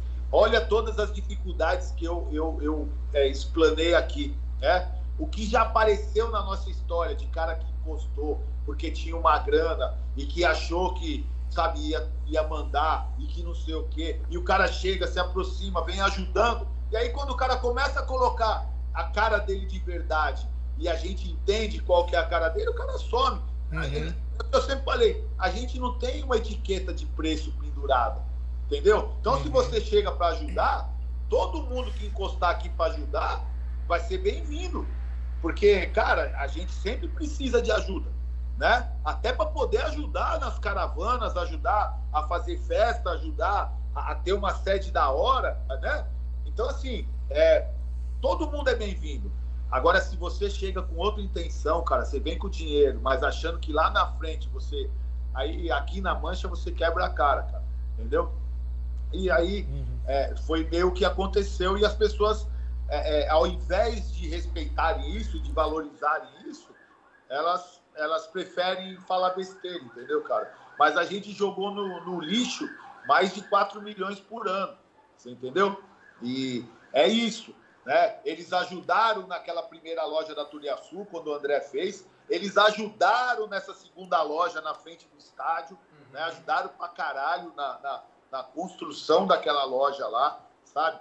Então, é, só que quando houve o rompimento, a gente continuou fazendo as mesmas coisas. Você entendeu? Com muito mais sacrifício? Claro, com muito mais sacrifício. Mas não parou. Né? Não parou. É lógico, você acha que o Jorge queria cobrar a caravana 500 reais para a Argentina? Não queria. Queria cobrar aí 100 reais e levar 20 ônibus para lá. Uhum. Entendeu? Que para ela não ia ser nada. Né? Que para ela não ia ser nada. Mas, cara, todos os presidentes que sentaram na cadeira nunca ajudaram, cara. A Mancha nunca teve boiada de ter ingresso, de ter não sei o quê. É. É, as ajudas que a gente teve até hoje vieram da Leila Pereira. Você entendeu? Por isso que a gente também é grato. Né? Por isso que a gente também é grato. Então, assim, a gente achou que a gente ia viver um momento de proximidade com o clube, uhum. que é o que ela vendia. Né? Quando teve aquela questão, lembra de uma tribo de, de, de índios e indígenas que fala hoje, né? Que, que tudo com a camisa do Palmeiras, assistindo o jogo numa televisão pequenininha, não sei o quê, e a gente mandou as camisas para lá e a rapaziada nossa, acho que da subsede de Manaus ou de Belém, fez chegar neles uhum. lá. É... Quando ela viu isso, ela conversando comigo, ela falou assim, Paulo, quando eu assumir, você me ajuda com isso, você me ajuda com as subsedes, e a gente, todo jogo, a gente trazer alguém que tem esse tipo de história do Brasil inteiro. Você me ajuda com esse tipo de coisa? Falei, o maior prazer do mundo. É tudo que a gente mais quer. Você entendeu? E, cara, como que eu não vou confiar no tipo de, de discurso desse, cara? Fala pra mim. Como eu não vou acreditar? É lógico que eu acreditei, é lógico que as pessoas acreditaram. Você entendeu? E hoje, eles levam artistas. Você entendeu? Colocam é. artistas dentro do campo. Né? E é isso, cara. É, mudou, mudou. Sabe? É uma decepção? Lógico que é uma decepção, cara. É lógico que é uma decepção. Da, me, da mesma forma que eu me decepcionei com o Paulo também. O Paulo era meu amigo pessoal, cara. Entendeu? Era meu amigo pessoal. Ele foi eleito à tarde. À noite ele estava no ensaio aqui na quadra. A primeira camisa do centenário que eu tinha feito de piloto, que estava para aprovar, eu dei para ele naquela noite. Tem foto dele em cima do palco com aquela camisa, eleito presidente do clube. Entendeu? E depois, do nada, ele ah, teve um acidente lá da Argentina, mas aquilo só não era motivo. Aquilo só não era motivo para ele romper do jeito que ele rompeu. Eu e o Moacir fomos conversar com ele no escritório dele na 9 de julho e eu dizia para ele: caralho, eu não tô te entendendo, Paulo. É, tudo bem, você tá chateado, é, pô, é foda, mas, cara, é, esse ódio aí tem mais alguma coisa. Não, não tem. Eu falei, tem, cara. Se não tem, você tá maluco, então, cara. Entendeu? E ele alimentou esse ódio o mandato dele todinho, né? Então, é, é, como não acreditar nas coisas que eu ouvia da boca dela, cara? Aí algumas pessoas falam assim, é, por que, que não tira a placa lá da quadra com o nome dela, não sei o quê? Eu não tiro, cara. Sabe por que eu não tiro? Porque é reconhecimento, cara. É reconhecimento, entendeu? Ela pode ter virado a cabeça depois, ela pode ter se mostrado, mas a gente não se mostrou incoerente, nem errado, nem traidor, entendeu? A gente não cobrou ela por qualquer coisa. A gente foi cobrar ela com qualquer palmeirense que você conversar, vai falar que a gente tinha razão.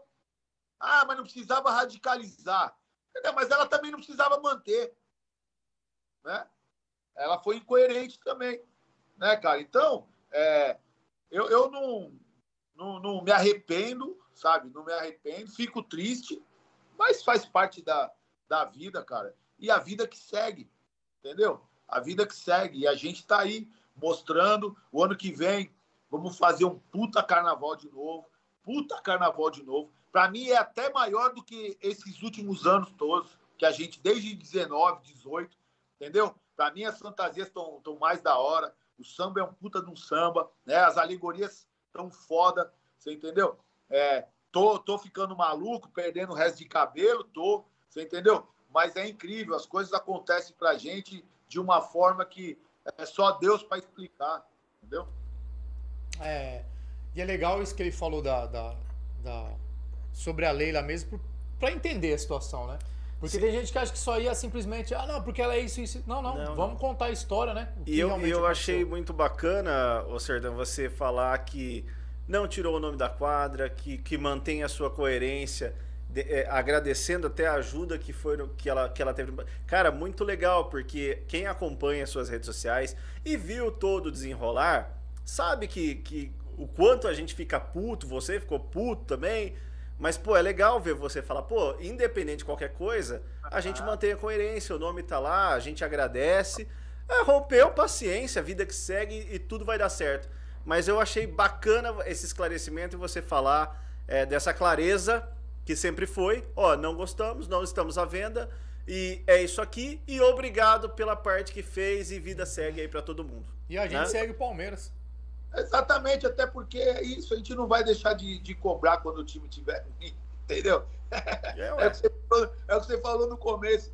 Mano, a, gente é bipolar pra caramba, a gente é, é maluco, a gente é chato mesmo, entendeu, cara? A gente As pessoas é. dele não entendem, aí fala, ah, hoje no grupo lá, a, a, o porra do Perguntinha que é chato pra caralho, aí quando eu fiz o, o vídeo, coloquei, é, aí colocou lá, Abelete de, é, detectado, né, cara? Porque eu sempre fui um crítico do Abel, né? Mas eu era um crítico do Abel quando ele jogava com aquela linha de cinco, caramba, que eu ficava puto mesmo, velho. Entendeu? É, eu ficava puto, mano. Né? Pô, não jogando nada. Pô, nós, nós derrubamos o Vanderlei, porque o Vanderlei tava com futebol burocrático. Joga a bola pra cá, joga a bola pra lá, joga a bola pra cá joga a bola. E se você pega o aproveitamento do, do Vanderlei, ele saiu com um dos maiores aproveitamentos é, de treinador do clube. Mas o futebol tava nojento, tava chato pra caramba. Você entendeu? Ó, um grande amigo que acabou é, ajudando ele, ele, ele vir pro Palmeiras, o cara me ligou, mano. Aí falou assim, pô, Paulinho, porque é, pra, pro, pro, pro Vanderlei vir, nós tivemos que conversar. Aí o cara veio falar comigo. Eu falei, da, da hora. A gente só precisa sentar com ele, falar umas verdades para ele e também ouvir umas verdades dele. Uhum. A gente não é dono da razão, né? E aí, o cara me ligou e falou: Porra, mano, mas não dá pra. Eu falei, mano, não dá pra segurar, mano. Olha o futebol do, do Vanderlei. Aí eu liguei pro Vanderlei. Eu falei, eu falei, ô, ô, ô, ô, ô, Luxa, eu não tô te entendendo, mano. Que porra de futebol que é esse, mano?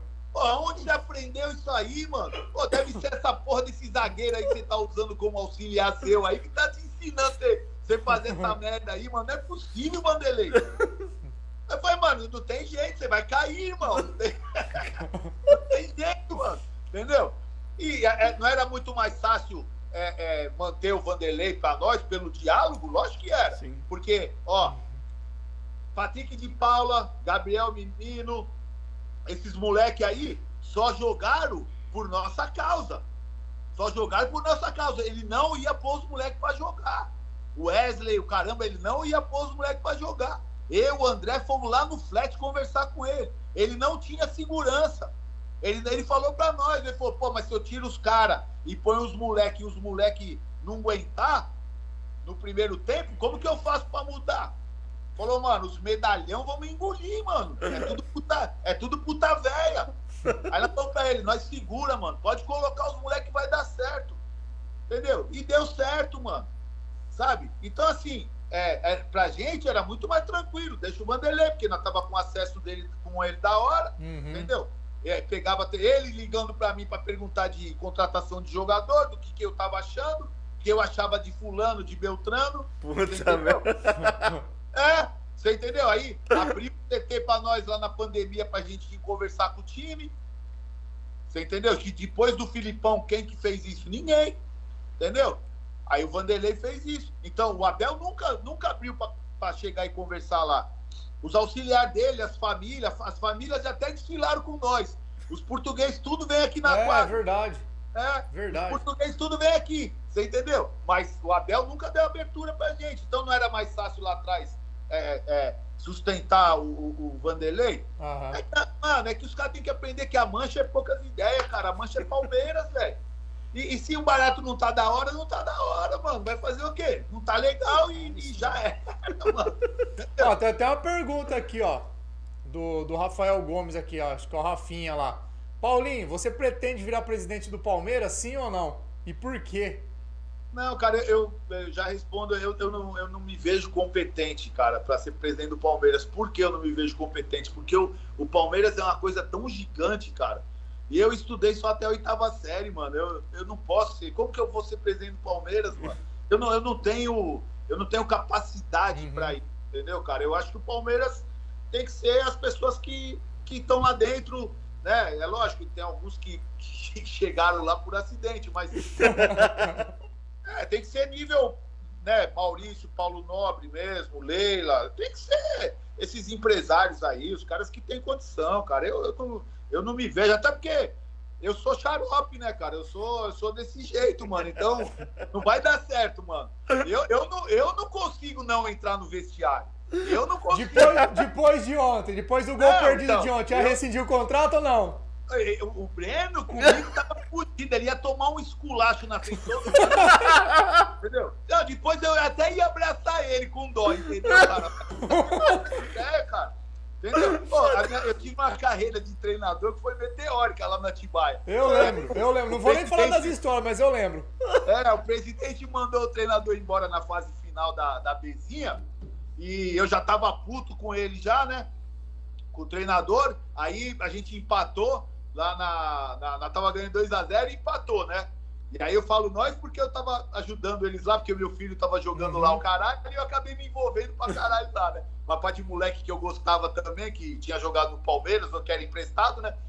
E aí acabei ajudando, viajando pra caralho, viajava mais atrás deles lá do que atrás do Palmeiras. E aí eu saí do. do jogou lá no, na Via Bichedi, lá em Bragança. Aí eu tô na Fernão Dias voltando, aí o Léo, que era o, era o gerente, me ligou e falou assim: ó, ele mandou o. o era, era, não era. Eu não lembro o nome dele, é um coroa que tinha, era o rei do acesso, né? Aí quando foi trazer ele, eu falei, vai dar merda, né? O time tava bem, mandaram o treinador embora pra trazer esse cara que era o rei do acesso.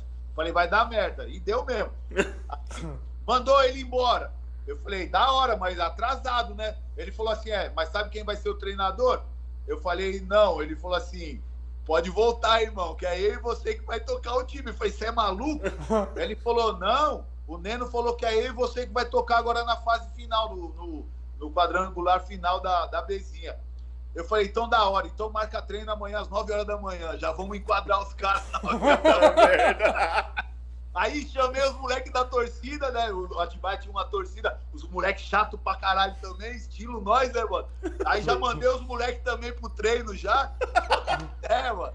Pô, catei o time e, e, na mente de todo mundo, mano. Aí os caras que, que veio com ele, né? Com o treinador que podia contratar na, naquela fase. Eu ainda que arrumei, pedi dinheiro para um, para outro, caramba, né? eu que paguei, arrumei dinheiro para pagar os jogadores que veio. Já catei os quatro, já na frente de todo mundo. Falei, ó, rapaziada, da hora. Vocês, é, vocês têm qualidade, até porque vocês vieram, certo? O histórico de vocês é legal pra caralho, mas aqui é, é o seguinte: se for, for pra ficar com meia boca aqui, ó, vocês já ganharam o dinheiro de vocês, da linha, que nós vai segurar até o final, certo? E um por um no meio da roda falou: que é isso, Serdano, nós tá junto, irmão, nós vai até o final agora, e poucas ideias, nós vai subir o time. e foi assim, mano, sabe? Então, se eu sou presidente do time, não dá certo, mano. Porque tem hora que eu sou tão imbecil. Ah, o sangue é de torcedor é, mesmo, né? É, eu sou tão imbecil quanto presidente de torcida, que eu, que eu já fui, entendeu? Então esse sangue tá aqui, cara. Então, é, vai parar é, o ônibus na frente lá em, em, em, em. Aonde que era? Em Barretos o ônibus da frente, aí passa na frente da sede da torcida, nós tá com o carro atrás, eu, o Lucas, que, que tá preso, que tá pra sair já, uhum. tá, eu, o Lucas, o Mauricião, e acho que o Paulinho, meu filho. Aí os caras saem tudo da sede da torcida e joga pedra no ônibus. Ah, mano, aí eu entro com o carro quase que dentro da sede dos caras, mano. Aí nós saímos batendo em todo mundo, que o Mauricião era eu ao quadrado, mano. Era a grande Mauricião. Nós saímos batendo em todo mundo, mano. Aí a rua escura pra caramba. Quando eu olho na rua, mas vem um bando correndo, mano. Eu falei, mano do céu, vamos tomar um pau agora, mano. Aí quando chega perto, quem que é? O jogador. O, o time todinho, mano. Os caras do ônibus viu quando jogou pedra, viu que nós paramos com o carro, desceu o time todinho, até o roupeiro desceu, mano. Entendeu? Aí fudeu. É aí que bateu em todo mundo mesmo, cara. Então, assim, é, ou dá muito certo que você junta todo mundo de verdade, você entendeu? Ou eu vou fazer besteira, né? Vou agredir o treinador. aí já elimina um time e acontece um, um outro BO aí. E chega de, chega de rolo desse tipo, né? Já deu, né? Já deu. Serdão, a gente tá caminhando pro final da live aqui, ó. Batendo um papo da hora mesmo. A gente precisa, precisa ir lá, né? Ah, cara. Ir lá eu, na quadra lá. Eu sou suspeito para falar. O Diego tem um trabalho, né? Vocês já se conhecem. O que eu conhecia do Serdão, é, vendo na TV desde pequeno, posso dizer que desde. Sempre fui palmeirense, então desde pequeno eu vejo você na TV. Tudo que já aconteceu, acompanhei sua carreira. E o Sempre Palestra me, me trouxe isso de conhecer pessoas, me aproximar de outras pessoas. E Serdã, cara, muito bom, prazer falar com você, cara, te conhecer. Espero sim ir com o Diegão lá na quadra e fazer a matéria com vocês lá, viu? Fantástico, cara, fantástico. Eu que agradeço, sabe por que é legal também, o, o, o, o rapaziada? Porque é assim, velho. É, a gente consegue, às vezes, falar para um público que a gente não está acostumado, uhum, entendeu? Sim. E, e, aí você rompe, rompe barreiras também, entendeu, Exatamente. Jeff? Você, você consegue mostrar um outro lado que às vezes as pessoas não conhecem. Uhum. Exato, é isso. É, é, é. Conhece só o lado mais radical, entendeu? e às vezes não entende, mas, cara, a dedicação é tanta, o amor é tanto. E, e é, não é que a gente acerta sempre, a gente erra também, né? Erra pra caramba, mas assim, a, a, gente só procura acertar, cara. A gente não faz nada é, é com maldade, uhum. entendeu, cara? Ninguém, ninguém sobrevive às custas do, do Palmeiras, ninguém vive às uhum. custas da Mancha. Muito pelo contrário, cara. A gente, você entrega a sua vida para isso, você se dedica para isso, né? É, se fosse é, para mim é, ser remunerado na Mancha, por exemplo, Entendeu? Eu nem sei quanto eu teria que ganhar, cara, porque é tanta dor de cabeça, cara, é tanto problema, é o dia inteiro, é só BO, é só extinção de Periculosidade, saco. né? Oi? Periculosidade, já tem que entrar aí. É, entendeu? Fora outras coisas mais que acontecem no meio do caminho, e aí, amigo, é, quanto que custa isso aí, entendeu? Da é, tem preço. É, quanto que é, né? E a sua família tensa, né? A família dos amigos tenso também, né? Então, não tem preço, cara. E às vezes as pessoas não, elas, elas não entendem, né? O, o que é, e a, o que movimenta. Ah, mas por quê? É tudo louco. Mas é assim, velho. É, uns gostam de surfar, outros gostam de fazer balão, outros fazer pipa, entendeu? A gente uhum. gosta de torcida. Eu, eu, eu, infelizmente, passei mais louco de tudo, aí eu gosto de de empinar pipa, gosto de cerol, gosto de balão e gosto de torcida. Então não coisa boa. O balão eu vejo os vídeos lá do, do balão. É, é top demais, mano. É só coisa errada, entendeu, cara? A mesma coisa do Moacir. Eu, eu sempre falei do Moacir. O Moacir, mano, ele nasceu para ser contraventor, cara. O Moacir, ele nunca trabalhou corretamente. Quando ele trabalhou corretamente, ele desviava dinheiro do tio dele. Então, assim, é, é, ele nasceu para fazer coisa errada igual nós, entendeu, cara? Então, assim, é, não tem jeito, cara. Aí você vai pra torcida. Não tem como dar certo, entendeu? Pra coisa. Vai dar certo de um lado, mas do outro é só cara problemático, cara. Não, mas é isso aí, Paulinho. Brigadão mesmo aí. Sempre a gente tentando marcar. E tinha também a questão da agenda do próprio Palmeiras de jogo. Eu tô até conversei com o Jorge agora em outubro. A gente vai conseguir bater esse papo com ele também, porque meu, a gente tem que entender que a gente tem a nossa vida, o lado profissional, tem as correrias do dia a dia, então você abrir esse tempo aí de duas horas aqui pra gente, duas horas já batendo horas, papo, é realmente assim, é. uma gratidão mesmo Eu por você. Eu falei que uma hora não ia dar. É, então. Até falei pro diretor, falei, ó, a gente vai estender. Ele falou, não, vai, vai embora, vai embora. Não é todo dia que a gente recebe alguém assim, vai, vai, vai que vai. E assim, aí pegou, você gosta de falar, a gente aqui também gosta, gosta de, de trocar ideia e e a gente vai pegar então um dia para ir na quadra, sentar, bater um papo aí, gravar, bater é, umas fotos, fazer uns vídeos aí dentro desse outro lado que muita gente não conhece, a parte da comunidade, né, para falar um pouco a respeito da comunidade dentro da, da Mancha Verde da escola de samba, ali, que os outros acham que é só vai lá e desfila no carnaval. Não é, tem todo um é. trabalho, tem uma comunidade que é assistida pela Mancha. Desculpa te cortar, Diego. Eu tô, eu tô aqui na quadra. Aí na quadra de futebol society, o Formiguinha e a molecada lá do a molecada do patrimônio tá enrolando os plásticos lá, reciclando os plásticos, uhum. né? Lá dentro da quadra tem uma reunião com todos os diretores de aula, tem umas 70 pessoas lá, Uhum. que é um curso que, que o pessoal está fazendo de reciclagem com os diretores de aula Legal. também. Do lado de fora, estava ensaiando a comissão de frente, né, cara? Ou seja, é, as pessoas, é, elas, elas, elas dão pouca importância para o trabalho que a Mancha faz em todos os setores, entendeu, cara? Uhum. É, É. se- deixa eu, se vocês me permitirem, porque depois vão ficar me enchendo o saco, Fica à vontade. para mim falar do sorteio nosso lá que a gente criou agora, Uhum. entrar lá no, no- nos stories da escola, Tá. a, gente, a gente tem alguns projetos aqui, né? Porque a gente tem a academia e tem a escola de boxe aqui. E aí o, o, o capoeiro, o Thiago, com, com a rapaziada dele, eles fizeram um trabalho tão competente que hoje eles estão formando lutadores de verdade e essa molecada já está treinando Uhum. né? E tá lutando já.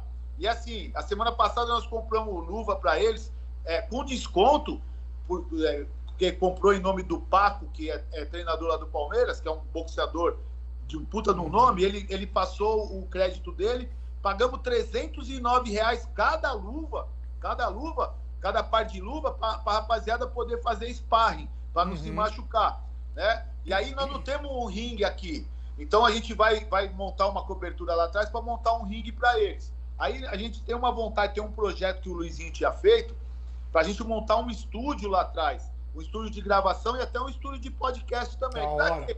Para as pessoas que são nossas, e até as que não são nossas, que têm vontade de gravar um samba, gravar um funk, gravar um trap, gravar um rap, não tem condições, e a gente abrir espaço para essa Uhum. rapaziada mais humilde, entendeu, cara?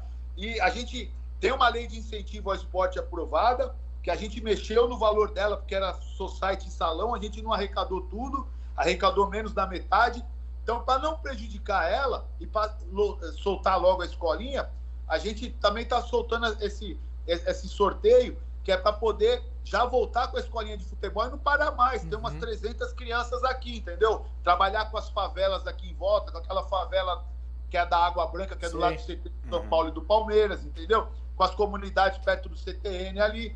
Então, rapaziada, é um real o número, é um real o número, você ganha ou 20 mil reais na conta, ou três iPhones Pro 14, entendeu? Então é um real só o número, e aí você escolhe o que você quer, se você ganhar o prêmio é pela Loteria Federal, vai correr no dia 7 de outubro, né, que é o dia da festa de aniversário da escola, Uhum. e vai ter sorriso maroto e tudo mais. Se comprar o ingresso agora também, tá pagando, você compra um que é 40 reais e ganha o outro, ou seja, sorriso maroto e mais outros shows, tá pagando só 20 reais o ingresso, Top. entendeu? Só o, só o cachê do sorriso maroto, eu abro aqui publicamente, nós pagamos 160 mil reais. Só o cachê do sorriso, ou seja, por É. 20 reais, você não paga nada, irmão.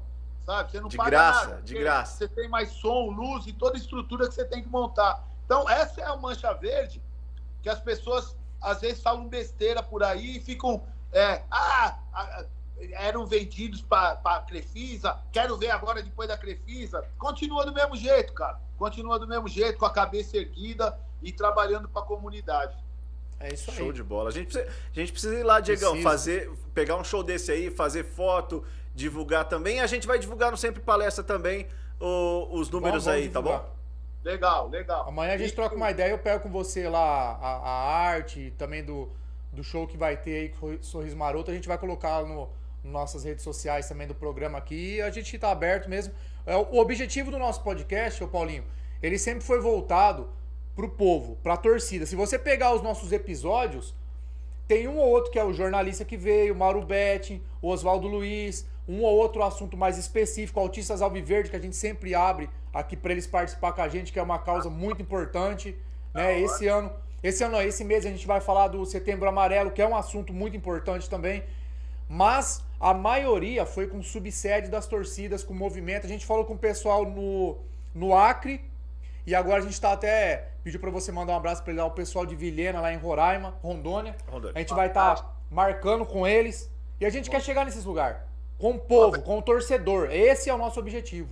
Legal, legal. Legal, legal de verdade mesmo, cara. Legal de verdade mesmo. A hora que vocês quiserem vir, serão bem-vindos. Vocês vão conhecer lá o barracão nosso também, lá na fábrica do samba. É uma indústria, entendeu? É uma indústria. A, a prefeitura de São Paulo investiu. é, é, é, quando vocês chegarem, vocês não vão acreditar. É impressionante, é muito grande. O nosso barracão é, é um dos melhores dos 14 que tem lá. Muito organizado, muito limpo. Vocês vão se assustar com a estrutura que tem lá. Eu imagino. O tanto de funcionário que tem lá trabalhando. Você da entendeu? É, e felizes porque recebem, né? uhum. né? Então, é, e os mesmos que a gente manteve na pandemia, né? Mesmo sem carnaval, ajudando todo mundo, você entendeu? Então, é isso, rapaziada. Eu bato palma para vocês, porque se é a dificuldade que é manter qualquer coisa que se queira fazer, né? É, no ar ou, ou em pé, né? Uhum. E fazer um podcast também não é fácil, você entendeu? Então, parabéns para vocês, obrigado pelo convite aí, cara. Tamo junto. É cara, isso aí. Eu, eu só quero agradecer, obrigado pelo seu tempo. A gente sabe quanto é importante. Muito obrigado e espero que em breve a gente esteja com você aí, fazendo, seja aí em São Paulo ou aqui na cidade, e divulgando cada vez mais. Muito obrigado, Serdã. Tamo junto, rapaziada. Ó, e com dor de dente, a boca tava adormecida até Puts. agora há pouco, mano. Toma um comprimido aí, irmão. Você é louco, cara. Eu achei que tava livre negócio de anestesia, achei que hoje era simples. Eu cheguei lá, ela começou a dar anestesia. Eu falei, mano, não é possível, mano. De novo, mano. é, fi. A, a vida traz a gente para certos lugares que depois você só ouve o barulhinho do motorzinho do dentista, ele já arrepia. Então, eu, ó, tem uma coisa que eu já tomei ponto até na língua por causa de briga, o caramba, mas tem uma coisa que eu tô cagão, mano, é dentista, irmão. Somos dois. Paulinho, obrigado, meu irmão. Tamo Valeu, junto, obrigado mesmo aí, abraço para todo mundo aí. É, pro Magrão, pro Betão, que são os diretores de ala aí, que, que eu tenho mais contato aí na, na, na mancha aí, né? Pessoas sensacionais, sempre fala muito bem de você, do carnaval, pessoas que eu tenho Vai. contato. Então, vida longa para vocês aí, um ótimo trabalho pro pessoal que tá aí na quadra trabalhando nessa segunda-feira aí. É, e a gente vai é. se encontrar. Terra com a imagem lá do fundo, lá do antigo palestra lá. Da Saudade. hora. Show. Valeu, Paulinho. Obrigadão, cara. Obrigado mesmo. Valeu, Satisfação.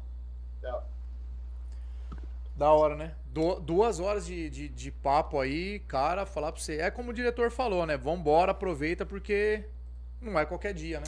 E é o que eu falo, né, cara? Como o podcast e a torcida e o Palmeiras nos aproximou de pessoas que a gente viu desde a nossa adolescência, né? Com Hoje certeza. a gente entrevista, conversa, bate papo e é um negócio surreal, né?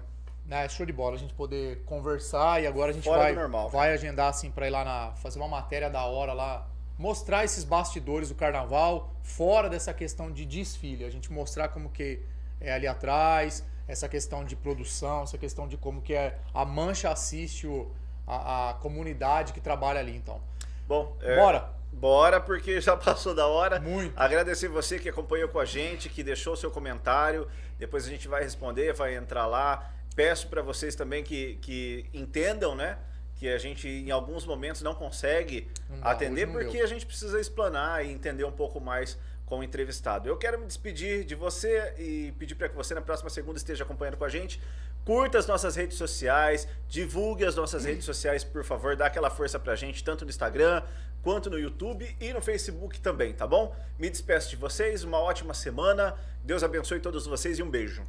É isso aí, rapaziada, brigadão mesmo, se inscreva no canal, Deixa o like, comenta, isso é importante pra gente. Semana que vem anunciando para vocês, o Dair Patriarca, ex-lateral do Palmeiras ali no início dos anos 90, vai bater um papo aqui com a gente, falar um pouco sobre o Palmeiras. É um palmeirense nato mesmo, muito gente boa, né? E esse mês aqui nosso já tá fechado também. Ah, nós vamos falar, né, tem vários assuntos. E no mês que vem aí, né, o Jorge também, presidente da Mancha, vai estar com a gente e, e outras pessoas também aí que vai estar trazendo pra gente aí bastante conhecimento, bastante Palmeiras pra nós, beleza? Então a novidade aqui, ó. Opa, novidade. Ó. Entre em contato com a gente. Quem encontrar com a gente no estádio, na rua, vocês vão, ó. Vai, é de graça, tá, pessoal? Isso daqui nós mandamos fazer para entregar para vocês mesmo, para divulgar o nosso canal, para divulgar o nosso trabalho. Então, encontrou com a gente o Diego, queria um adesivo do adesivo, um adesivo. sempre palestra podcast, tem maravilhoso. grande, tem pequeno para vocês aí a gente vai estar tá divulgando com vocês. E aí, conforme vai aparecendo mais parceiros, a gente vai fazendo mais produto também pra gente entregando para vocês aí. E no final do mês agora tem sorteio, a camiseta nova tá chegando. Beleza? Vambora então? Amanhã, terça-feira, dia de luta, né?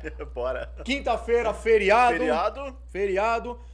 Bom, Palmeiras, todo mundo sabe onde empatou, a gente não precisa ficar falando muito não. Tem aí essa porcaria dessa data FIFA aí, então vou ter que ficar aí duas semanas sem Palmeiras.